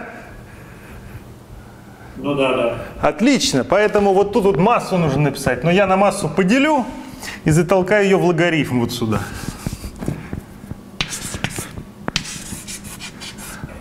Вот теперь правильно. Хорошо, вам стряпка. Ну, мне вообще я чувствую хорошо. Да. Э, так, э, значит, еще мне дальше нужен вот такой кусочек. Э, Это решение уравнения Гелман-Лоу, а само уравнение Гелмана-Лоу, вот, вот аналогичное уравнение, но для g, да, мы его в прошлый раз выводили. Это было dg в квадрате от p по d логарифм p в квадрате Э, минус бета 0 минус бета 0 на 4 пи в квадрате 4 пи в квадрате g в от p в квадрате. Вот это я в прошлый раз выводил. Вот примерно таким же способом. Вот. Ну и все. Давайте теперь проинтегрируем вот это уравнение. Найдем, как у нас э, масса меняется от масштаба. Ну, как я это делаю? Я говорю, что ну, d логарифм массы, э, логарифм p я сюда переношу, мне нужно проинтегрировать вот ту часть. И получится у меня, что логарифм m э, r от там p на m r от q равен, это я туда перенес, минус cf на 3 на 4π в квадрате. Интеграл. Э, d логарифм. P штрих там какой-то, да, на э, g в квадрате. Вот p штрих. Вот, значит, и тут я должен поставить q в квадрате, там, э, ну или логарифм q в квадрате, да, а тут p в квадрате. Вот. Э, теперь, вот это, э, значит, так. Вот смотрите, теперь э, э, g в квадрате от p я вот из этого уравнения вы, выражу. Вот тут у меня есть g в квадрате от p.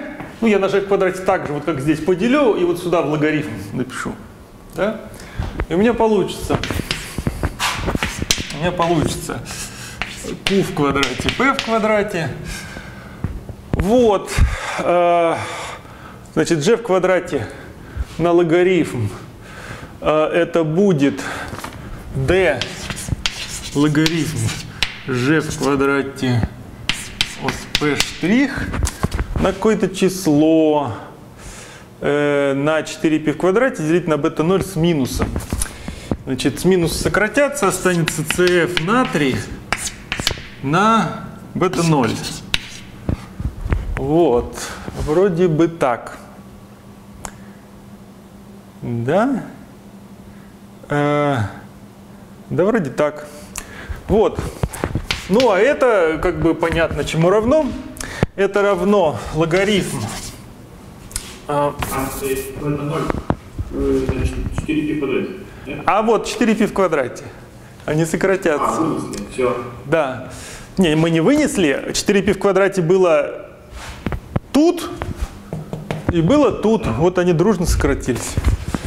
Вот, значит, у нас остался логарифм. Э, а сейчас еще раз, вот, вот то верхнее уравнение, это было вообще... Это уравнение Гелмана-Лоу на прошлом занятии я его выводил. Да. А мы-то сейчас вывели, его еще раз, зачем мы там где-то 0 опять ввели? Нам же нормально жилось. Пардон, мы его не выводили еще раз. Это уравнение на заряд. Мы вывели уравнение на массу, в которой заряд входит. Так? Чтобы проинтегрировать вот это уравнение, вот я его просто пишу. Я помножаю на d логарифм p сюда, интегрирую. У меня получается тут вот логарифм от верхнего предела минус нижнего, вот он я на- написал, равно вот этот коэффициент минус вот эта штука на 4π. Интеграл от g в квадрате от p да, да. да. Э, вот он, значит, d логарифм p, все чудесно. Но я должен g в квадрате от p, как он ведет себя от p, откуда-то взять. Вот, я его беру отсюда. Ну, я могу и отсюда взять, просто считать дольше. Мне- А, окей, все. Андрей Вот. Владимирович, там со степенями же все хорошо. То есть вот в верхнем углу у нас там же четвертое, как вы вот в этом интеграле от... Точно так же, как, точно так же, как нас Леонид Васильевич исправил. Вот я тут пишу в квадрат, на g в квадрат делю обе части, так? Вот. И тут пишу логарифм. Вот. Тождественное преобразование. А. Вот. И все. g в квадрате от p вот отсюда я просто подставляю сюда. Вот. У меня тут g в квадрате, взял из уравнения, написал. Вот. Э, У меня получилось, вот, вот что получилось. Ну, это я интегрировать могу, это будет g в квадрате от верхнего предела, соответственно, p, p на g в квадрате от q, э, вот с этим коэффициентом. 3CF на бета 0. Так, ничего я не потерял.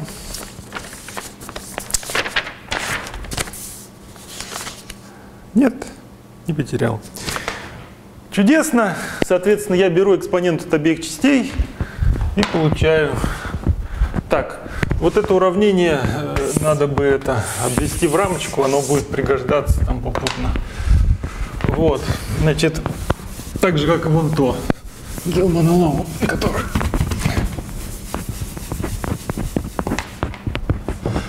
Вот, так, значит,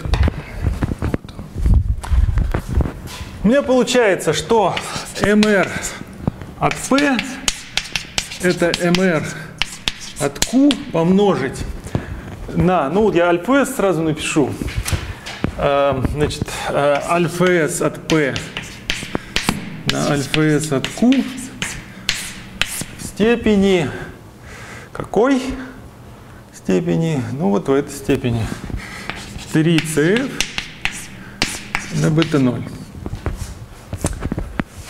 Вот, это наш ответ. Это наш ответ. То есть вот так у нас меняются массы кварков с изменением масштаба. Ну, в главном порядке теории, ну, не в главном, ну, я не знаю, вот на петлевом порядке теории возмущения. Вот, э, вот давайте теперь смотреть, э, как бы, и чё.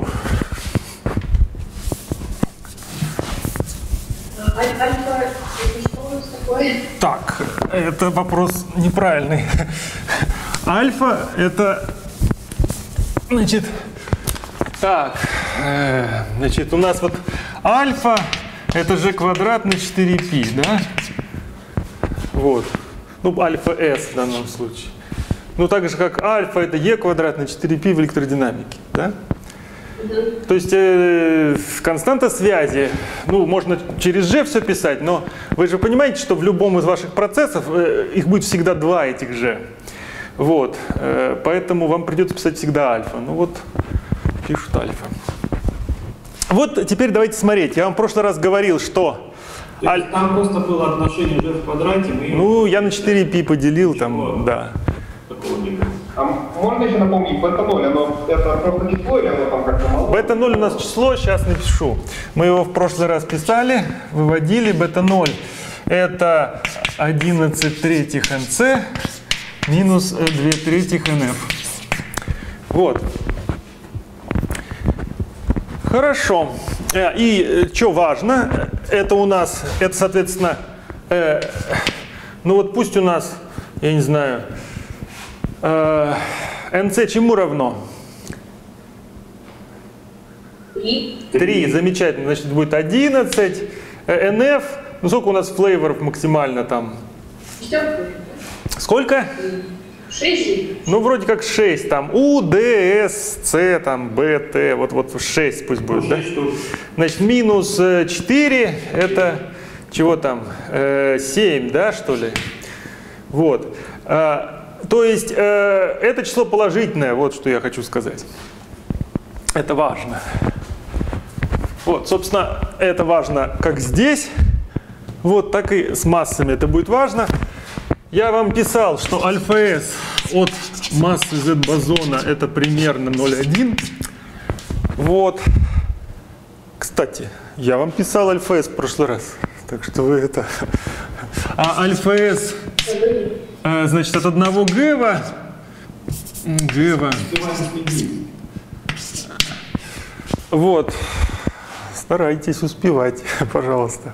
Значит, от одного гэва это что-то типа там 0,4, 0,5, там, ну вот так. Ну пусть там, я не знаю, 0,4.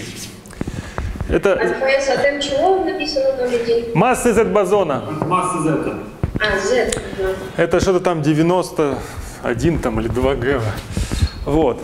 Э, Значит, микрофона что? Я не понял, еще раз скажите. Это точно было сюда. Может, там случайно сказали. Ну ладно, неважно. Вот, значит, э, это вот такого порядка. Вот тут вот эта неопределенность зависит от того, как раз какую схему вы используете, то есть что вы там внесли в определение а, вот этих мю там или лямбда КХД, вот поэтому оно слегка, э, значит, меняется, но э, это не в данном случае, мне масштаб важен. Вот, соответственно, вот смотрите, если мы идем от масштаба Гэва до масштаба Z-бозона, то как у нас изменится масса кварков, э, которые мы будем видеть на этих импульсах? Вот э, CF, это, значит, что там было? CF, кто-то мне уже говорил. Квадрат минус 1, нет, n квадрат минус 1 делить на 2n. n квадрат минус 1 делить на 2n. 3 это как бы n мы уберем. Вот, n квадрат минус 1 это 8, да? 8, значит, на 2 это 4, это вот типа 4 сверху. Бета-0 у нас вон типа 7, ну я возьму там 8. Так, грубо говоря, что это э, будет типа практически корень. Вот. Значит, и если я альфа s от p на альфа s от q подставлю, то у меня что получается? 0,1 делить на 0,4 это 1 четвертая. Еще я корень возьму, это будет 1 вторая. Вот. Поэтому при, э, э, при переходе от, я не знаю, э, масса на масштабе z-бозона, это масса на масштабе 1gf помножить на одну вторую, грубо говоря, так вот, оценка. Мне кажется, вы там потеряли цепь, кажется, что потеряли? Вы единицы Ещё- на 2n надо делить. Там, Так я, а тут 3. на- на три. 3 тут 3. А. 9 Да. Вот, то есть, э, э, значит, массы у нас потихоньку при возрастании импульсов уменьшаются, ну и вот характерные, ну вот уменьшаются они примерно так. А можно вопрос? Да, Вот сейчас эта масса, да, это только такая ну, некая теоретическая вещь. То есть это ты говоришь, вот я хочу весь свой лагранжан в какой-то точке перенормировать. Какой-то перенормировал, вот у тебя такая масса, да? А э, физический смысл-то у нее какой-то есть. Вот что я такое должен измерить, чтобы у меня в одном случае была масса на одном теле, а в другом слу- случае стала масса вот на массе Z-бозона. Э, значит, э, ну вот, например, Z-бозон распадается во что-то там, да, вот, а, и ты э, там меряешь, э, соответственно, эту массу. Вот, вот, вот это будет вот эта масса на Z-бозоне.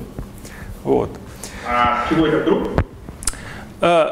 Э, Ну, масса зависит от импульса. Если у тебя э, по вот этой... Непонятно, из всего, что сейчас рассказывалось, масса с чего вдруг? Это же всего лишь точка перенормировки. Это просто то, что ты взял и выбрал. Ну вот выберешь другое, когда будешь считать а, распад, я не знаю, там э, какого-нибудь Z, там 2 бэкларка, да, вот, все, будешь, э, выберешь другую точку перенормировки, нормально. Нет, э, я вот, э, когда буду считать распад Z в 2 кварка, э, я, например, вот беру и считаю себе вот древесный лагранжан, там все дела, вот посчитал. А у меня туда входит масса бэкварка, да? Вот. И характерный масштаб э, импульсов, э, на который она входит, это масса, э, ну, z, так? А, Вот. Э, И поэтому я просто говорю, я вот померяю там ширину вот эту, да, массу, значит, эм, z в, бэк, в 2 бэкварка, и э, оттуда извлеку вот эту вот массу и скажу, что вот эта масса, которую я оттуда извлек, это вот эта масса. Вот. Вот я не понимаю связи, я ее прям не вижу. Ты же можешь взять, смотри, ты можешь взять, посчитать э, свою, например, там, ширину или еще что-то, да? Да. А, и везде использовать массы перенормированные, ну, например, в точке перенормировки там 10 Г. Да ради Ну, бога, могу. 500 Г, Я не знаю, не важно, да? И все, все посчитаешь, вот. А Потом сравнишь э, с измеренным, измеренной шириной, и вот, э, и все. Значит, э, Почему вдруг А, Когда я считаю, вот, вот то, что я делал в начале, я получал, что у меня э, масса, эффективная масса, зависящая от импульса, это голая масса, плюс какие-то там расходимости, плюс вот логарифм от q квадратов, да? Вот. Э, И я говорил, что на самом деле голая масса это не знамо что, вот. Э, Плюс еще у нас там какие-то расходимости, да, и логарифм. Но я знаю, как она связана с некой массой на масштабе неком вот от p в квадрате, вот который тут у меня. И теперь я говорю, я должен где-то взять на какой-то точке, э, измерить на характерном моем масштабе массу вот эту. Вот. Например, из, из, вопрос, как это сделать? Так что, как это сделать? Вот ты меряешь массу на масштабе z, то есть у тебя z распадается в бэкварке, ты померил там массу. Сказал, что вот эта масса, она на масштабе mz, я ее так определяю вот из моего вот этого распада, вот, вот я ее просто померил такой. Как только я одну массу знаю, я все остальные пересчитываю ну, на всех других масштабах. Вот так. Все. То есть мне достаточно в одном месте померить, в остальных я знаю сразу. Если я ни в одном месте не померил, то у меня просто есть некая связь между ними. Но характерного масштаба нет. Вот. Поэтому мне где-то в каком-то месте нужно померить. Вот. Правильно ли мы понимаем, что МР это уже наблюдаемая масса? Да, правильно. Ну, это наблюдаемая масса э, как это, в жестких процессах. То есть, понятно, свободных кварков не существует, но это наблюдаемая масса в жестких процессах. Ну, типа, если мы возьмем, определим там четырех импульсы, этих там, знаю, струй или Э, Да, правильно, много больше лямбда КХД. оттуда мы можем получить эту массу. Ну, если я правильно понимаю, это кварка, да, это прям вообще вчистую работает, потому что он как бы только в таком свободном состоянии есть. Э, Ну, его-то в свободном состоянии нет. Не, ну в том смысле, что он не организуется, в этом смысле он рождается, ну, как сам, как кварк. Э, Почему? Э, Он, э, ну, действительно, ну, наверное, да, наверное, наверное, да, так можно говорить, да. Не, ну просто я знаю, что CMS вот буквально недавно оно публиковало статью, вот как раз э, зависимость от импульса массы Т-кварка, они там как-то ее изучали. далее. Ну, по идее, должна быть вот эта формула, но, но с кучей поправок, так сказать, уже. Не, ну они в том смысле, я помню, что была статья, где это экспериментально как-то проверялось. Вопрос в том, что это все-таки значит. Это значит, э, ну вот ровно то, что я сказал, то есть э, э, физический смысл этой массы – это масса вот на характерном масштабе. Характерный масштаб у тебя какой в процессе есть. Вот, ты на нем, грубо говоря, вот берешь борновскую формулу э, распада, э, там, я не знаю, вот э, Z2B кварка, да, э, и э, э, ей э, подгоняешь сечение, находишь оттуда массу. Казалось бы, э, ты можешь сказать, а вот почему я туда буду ставить массу на этом масштабе? Может, она там, я не знаю, на масштабе 1 ГЭФ вот я должен туда подставить. Э, Дело в том, что масса на масштабе 1 ГЭФ связана с массой на масштабе вот массы Z-бозона вот этой формулой. Если эту формулу начать раскладывать в ряд по константе альфа-s, да, то тут будет, э, ну это вот вообще говоря, экспонента, да, это бесконечный ряд. И вот это, это первый член этого ряда. Э, Значит, если у меня Q равно P, да, это у меня единица, этого вообще нету. То есть масса на масштабе P равно массе на масштабе Q. Э, Если я вот тут пишу 1 GF, а тут пишу Z, то вот этот коэффициент, да, это вообще говоря ряд по константе связи. Вот, э, то поправки, поправки к тому, что ты в свою формулу для подгонки сечения подставишь массу на одном гэве, это вот все это поправки будут к ней. То есть, да, конечно, можно туда подставлять массу на одном гэве. Вот вопрос-то вот в чем. По какой причине, по какой причине, если я возьму массу на э, масштабе Z, да, то почему этих поправок вдруг не станет? Потому что э, Ну, потому что я к чему? Что ты говоришь не использовать формулскую формулу, да? Вот я беру формулскую Да. формулу, я померил и так далее. А с чего это вдруг я, э, может, ну, у меня все равно все остальные члены-то остались? Потому что поправки э, это ряд по альфа-s на логарифм q1 в квадрате q2 в квадрате. Когда у тебя q1 в квадрате примерно равно q2 в квадрате, этот ряд, э, ну, он фактически не существует. Все. Еще, Усть- что такое Q1 и Q2? Э, Значит, вот, ну я стер эту формулу. Значит, масса одна, это масса вторая. Ну вот я, я, я эти альфы э, перепишу через э, э, логарифмы. У меня там будут логарифмы. Я просто поясню. Смотри, вопрос у меня вот такой. Сейчас вот эти вот P и Q, да, это всего лишь две точки перенормировки. Да. Я хочу понять, как эти точки перенормировки, за счет чего, каким образом, да, а, у меня характерный импульс, да, характерный импульс переходит в, а, связывается с точками перенорми- перенормировки, на которых мне нужно выгодно как-то правильно выбрать эти точки перенормировки, чтобы у меня э, последующих членов либо не было, либо они были подавлены, либо там еще что-то. Но понимаешь, что дело? Сейчас вся конструкция выглядит так, что у меня есть точки перенормировки, это какой-то вопрос моего удобства.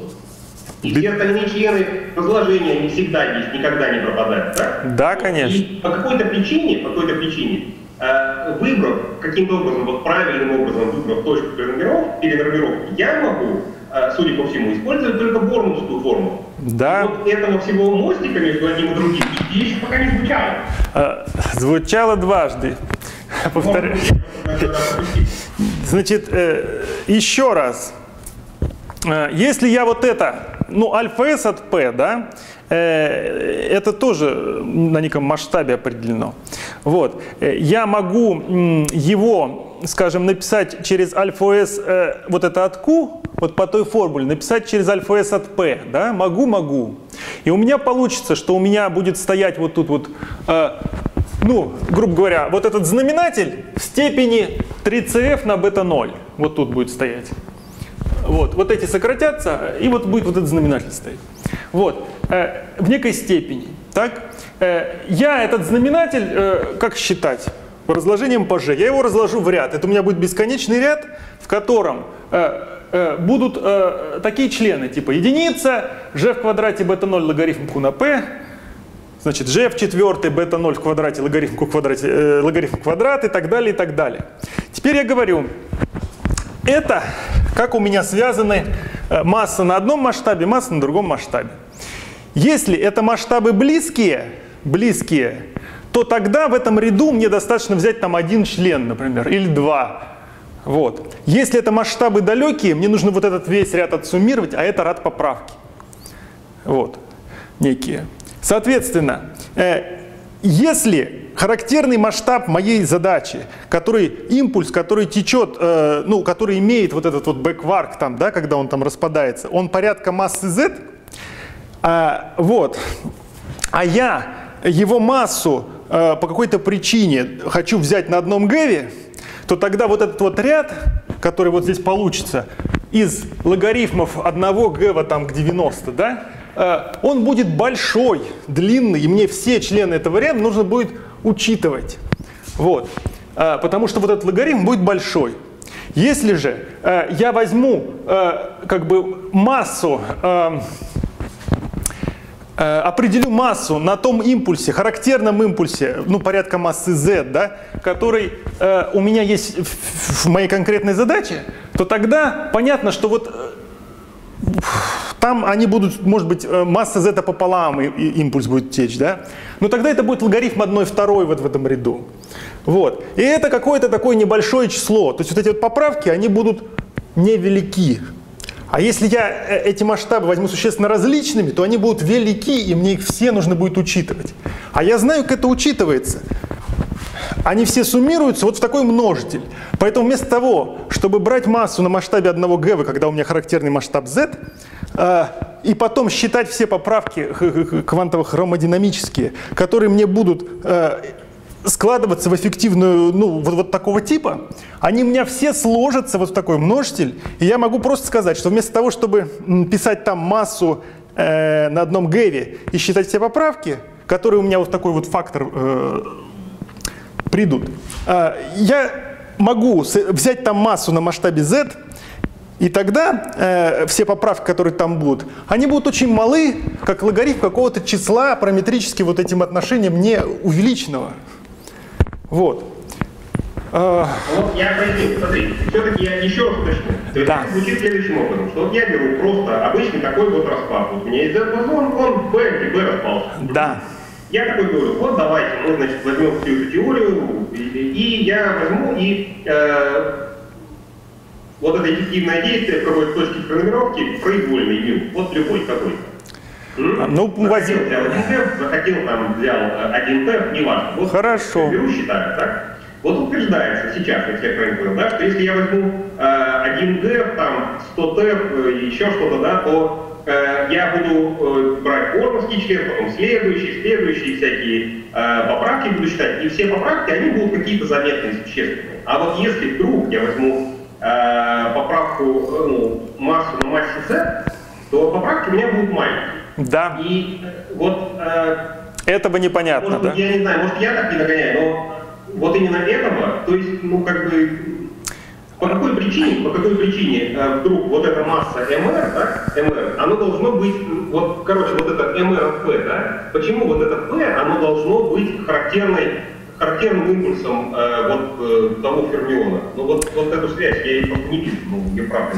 Хорошо, э, еще раз объясняю. Эта связь ровно такая же с массой, как, например, с зарядом. Ты мне можешь сказать, а почему? Вот у меня опять э, точно такое же уравнение. Хорошо, я и про заряд то же самое могу спросить. Замечательно. Вот про заряд. G от Q и G от P.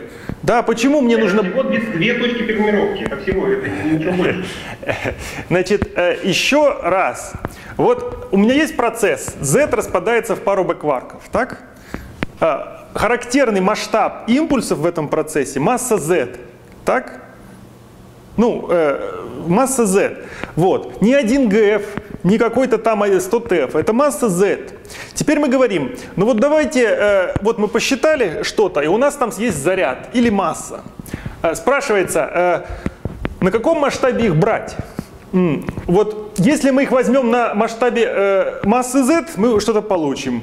Ну вот видите, они довольно сильно отличаются. Да? Если мы возьмем на масштабе э, 100 TF, мы получим вообще что-то другое. А, что сделать правильно? А, и какие поправки будут к э, нашему результату? Как выглядят поправки? Поправки это ряд. Значит, э, вот такого типа. Вот вы какую-то величину посчитали, там, я не знаю, ширину, там, сечение, что угодно. Вот э, это некая гамма-0 э, плюс альфа-s там на гамма-1 плюс альфа-s в квадрате на гамма-2 и так далее. Это вот такой ряд.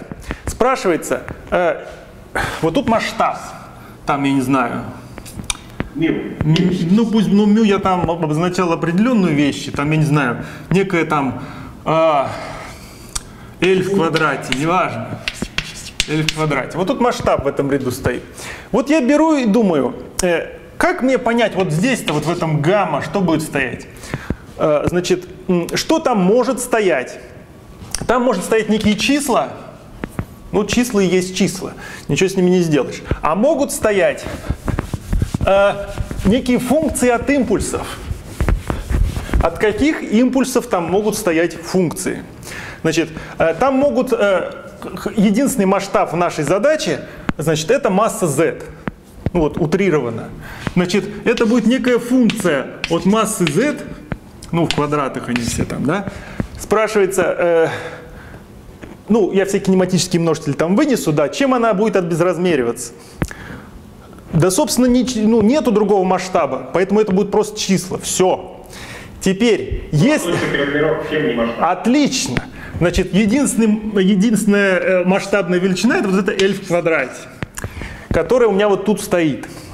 Я думаю, а, а эти функции, это, как правило, это логарифмы. Так? Это логарифмы. Соответственно, вот мой ряд такой, вот там будут, в частности, члены константы, с ними я ничего не сделаю. И в частности, там будут вот такие члены. Альфа-s там от L в квадрате на логарифм L в квадрате на mz в квадрате. Вот. И вот куча в каждом, э, значит, с- э, порядке вот такого типа члены будут. Вот, и я думаю, если я возьму L в квадрате, очень сильно отличающуюся от mz в квадрате, то вот этот логарифм будет очень большой. Вот, и, соответственно, вот здесь, вот в этом ряду, э, мне нужно будет брать много-много-много членов, потому что каждый из них будет большой за счет того, что логарифм будет большой. Вот. А теперь я думаю, а вот если я вместо L в квадрате возьму mz в квадрате, то вот тут вот этот логарифм будет, ну, так как я написал, он вообще нулем будет. Но понятно, что там какие-нибудь коэффициенты, там 2, там еще чего-то будут стоять, да? Но это будут числа порядка единицы, там нет другого масштаба. Поэтому получится, что если я вот этот масштаб, э, который у меня задается точка перенормировки, возьму характерным масштабом моей задачи, то я убью вот все вот эти логарифмы убью. Вот, то есть вот в этом ряду у меня не будет усиленных членов. Не будет. Поэтому я и говорю, ну тогда, наверное, э, так как альфа-s, оно, ну, все-таки там мало более-менее, да, э, на моих ма- масштабах пертурбативных, а это будут просто числа, ничем не усилены никакими там логарифмами отношений масштабов. Тогда я просто скажу, ну вот я первый сосчитаю, ну максимум второй, а остальные я просто выкину, поскольку у меня есть малый параметр альфа-s. И нет большого параметра усиливающего. Вот. Поэтому э, мы говорим, давайте, если у нас характерный масштаб задачи, это, ну, там, не знаю, mz в квадрате, то вот перенормируемся на mz в квадрате. Вот. Э, но ты говоришь, а на самом деле, ну я же могу на одном гэве перенормироваться? Конечно, можешь. Но тогда нужно вот весь ряд считать. А э, если мы этот весь ряд сосчитаем, то эффективно получится вот это. Вот если я вот этот кусок в ряд разложу, то там как раз будут логарифмы отношений вот этого импульса к этому. Вот. Это вот и есть вот этот ряд. Вот эти вот типа логарифмы. Э, и, соответственно, если масштаб моей задачи mz, и я взял вот здесь mz, э, то э, все они, когда они соберутся, они мне дадут вот этот фактор в какой-то степени, но этот фактор, он очень мал, ну, практически единиц. Вот. А если э, я вот тут взял один ГФ, то этот фактор будет велик, когда я его буду разлагать, у меня будут все члены там ряда значит, теории возмущений, и каждый из них будет, ну вот, немал. И мне нужно будет считать их все. То есть вот эта вот э, машинерия, она просто говорит, вот да, э, э, все члены такого типа, которые собираются в массу, все рад поправки, я могу сосчитать вот так. Я их вот так и сосчитаю сразу, и туда, значит, э, вместо моей массы на абы каком масштабе напишу на том масштабе, каком надо по физике моей задачи. Все логарифмы, которые э, усиливают, э, значит, э, вот эти рад поправки, а, и которые собираются в заряд, я сразу их соберу вот в эту формулу. Вот. А, и буду использовать заряд на том масштабе, который физически для моей задачи. А остальные ряд поправки, которые не связаны ни с массой, ни с зарядом, они мне будут давать некие константы. Вот. Вот здесь, вот в этом ряду, которые ничем, никаким вот этим масштабом усилены не будут, и поэтому я просто ну, несколько членов первых ряда запишу, и хватит мне. Вот такой подход. Это, да, и... это понятно или нет? Да, это прям понятно, отлично, отлично. Отлично. Вот вопрос в чем еще. А если этих масштабов у меня в задаче несколько? А вот тогда начинается... Вот тогда начинается, так сказать, э, как бы настоящая работа. Как правило, когда э, вычисляют вот эти вот, ну, огромные сечения, постоянно говорят про эти кей-факторы, да? Вот. Э, это как-то связано в итоге, нет? Я не могу. То есть я с кей-факторами никогда не работал, ничего не могу тебе сказать про это. Вот. А, можно, да. можно вопрос вот, по, по вот этой да. вот, вот, по, то, по потому, что вот последние пять минут происходило. Да. Вот еще раз, правильно ли я понимаю, что вот, допустим, возьмем, измерим эту ширину на z-позоре? Да. Теперь мы говорим, что ее можно описать вот таким вот рядом. Ну, который там, да, можно. Да, да, да. Вот. А, теперь, если мы хотим перенормироваться, то есть мы, если мы теперь хотим посчитать, и, там, ну, то есть вычислить массу, допустим, этих кварков в каком-то другом масштабе, нам нужно сравнивать логарифм L в квадрате на z в квадрате и альфа s на z в квадрате. Если логарифм небольшой, то есть это мы говорим, что мы идем, грубо говоря, ниже, то тогда вот, этот, вот, вот это разложение номерное, нам, ну, то есть мы можем его использовать. И это разложение, оно нам как бы, по факту дает нам ту формулу, которую мы записали для массы. Так? Значит, э, еще раз, в этом разложении учтены все поправки. Вот в этом разложении да. только те, которые в массу уходят. Вот. А их вообще говоря много. Что-то уходит в массу, что-то в заряд, что-то вообще оно просто вот специфика процесса там, и так далее. Вот. Я говорю про то, что глав, главная фишка это мы сравниваем логарифм э, f в квадрате на масштаб, ну то есть на массу, которая у нас есть в задаче в квадрате, э, и альфа от l в квадрате. Ну, в принципе, да, но плюс еще вот эти коэффициенты важны. Это, э, ну, то, что называется там аномальные размерности, я о них еще буду говорить. То есть вот если вот этот коэффициент у вас, ну, просто гигантский, да, ну, вы должны его тут вспоминать. Вот. Э, значит, э, ну вот так. То есть идея такая, что мы смотрим, то есть мы хотим, ну, то есть измеряем в одном месте, хотим перенормироваться. Чтобы перенормироваться, нам нужно смотреть, куда мы перенормируемся. Если мы перенормируемся э, там, в область меньших масс, у нас получается вот этот логарифм, он небольшой. Нет, э, это не важно. Э, вот вы взяли какой-то ваш масштаб L, да? Ну вернее, вот у вас есть масштаб mz. Если вы L много больше mz возьмете, у вас все равно будет логарифм большой. Если много меньше lz возьмете, mz, все равно логарифм будет большой, только знак другой будет. Да, да, да. Вот. То есть, э, если L порядка m, то логарифм, ну, он, э, он число. То есть он, он не содержит э, как И бы... тогда мы можем нормально раскладывать. И тогда вот в этом ряду вот этих логарифмов по факту нет, и вы говорите, ну я возьму несколько первых членов ряда, они все равно ничем не усилены, а альфа s мало. Ну и вот с какой точностью я по альфа s хочу, вот с такой вот там, я не знаю, первый член взял и все. Борновское сечение сосчитал и забыл. Вот. Э, А если масштабы сильно различаются, вы Борновское сечение сосчитаете, э, но поправки ваши будут велики за счет того, что вот это будет велико. Вот.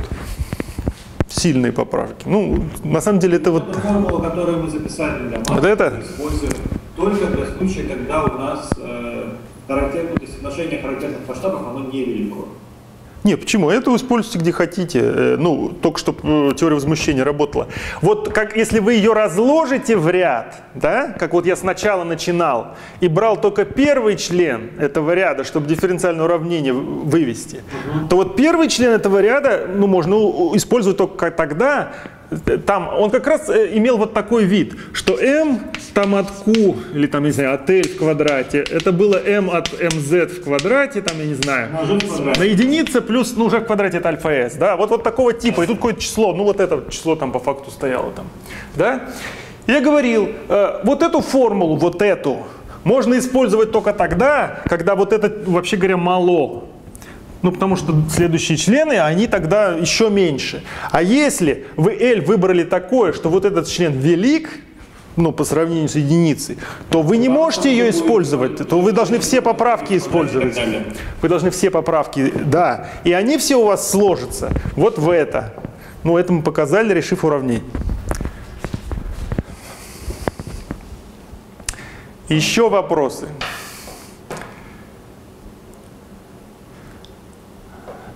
Отлично. Я, честно говоря, не знаю, сколько сейчас времени. 14.53. Так, а у нас как до скольки? Ну, типа до 14.20. Ага, я, честно говоря, думал, что я это вам расскажу за полпары, у меня еще там... Ну вот, э, тогда, э, что касается... Вот это, а, я говорил, что это токовые массы, то, что называется. Это массы, определенные в рамках теории возмущений, э, когда импульсы, вот эти характерные, они много больше лямбда КХД. Вот. Есть еще то, что называется конституентные массы кварков. Это те массы, которые э, ну вот в моделях там, адронов м, используются. Э, они определены на, на масштабах импульса порядка там лямбда КХД, да, и поэтому для них вот это вот э, не работает. Для них вот эти поправки, да, они э, сразу э, велики. То есть вот здесь сразу вот это, грубо говоря, вы просто добавляете лямбда КХД, вот это все, это типа там лямбда КХД.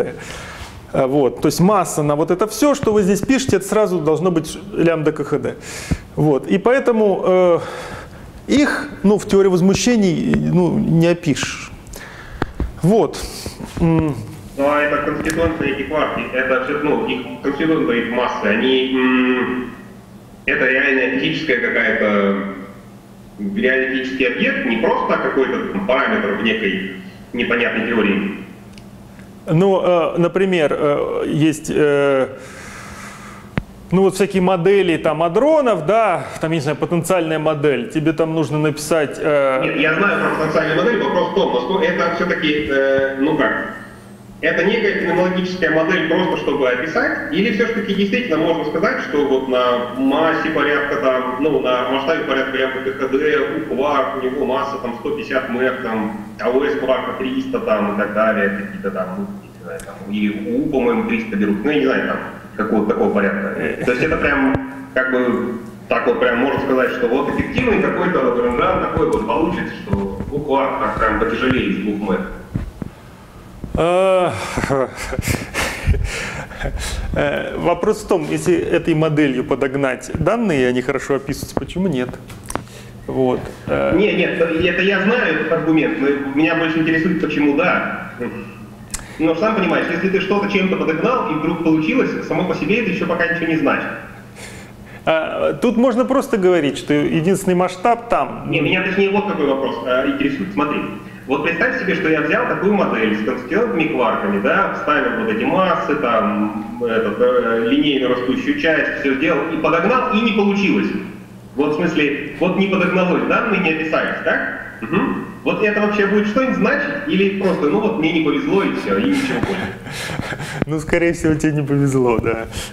Вот. То есть вот это, вот это, конечно, интересно, потому что если действительно есть какие-то, э, ну, какие, какая-то мотивация, чтобы эта масса все-таки была именно такой и так далее, чтобы эта потенциальная Нет, э, модель, ну, Массы... воображение как-то пересекалось с реальностью, это, конечно, очень, очень было бы приятно. А, Для этих масс есть характерный масштаб лямбда КХД. То есть все эти э, подгонки, они будут порядка лямбда КХД. Ну нет другого масштаба там. Вот. Поэтому, э, ну они все такие и есть. Э, другое дело, э, можно говорить о том, э,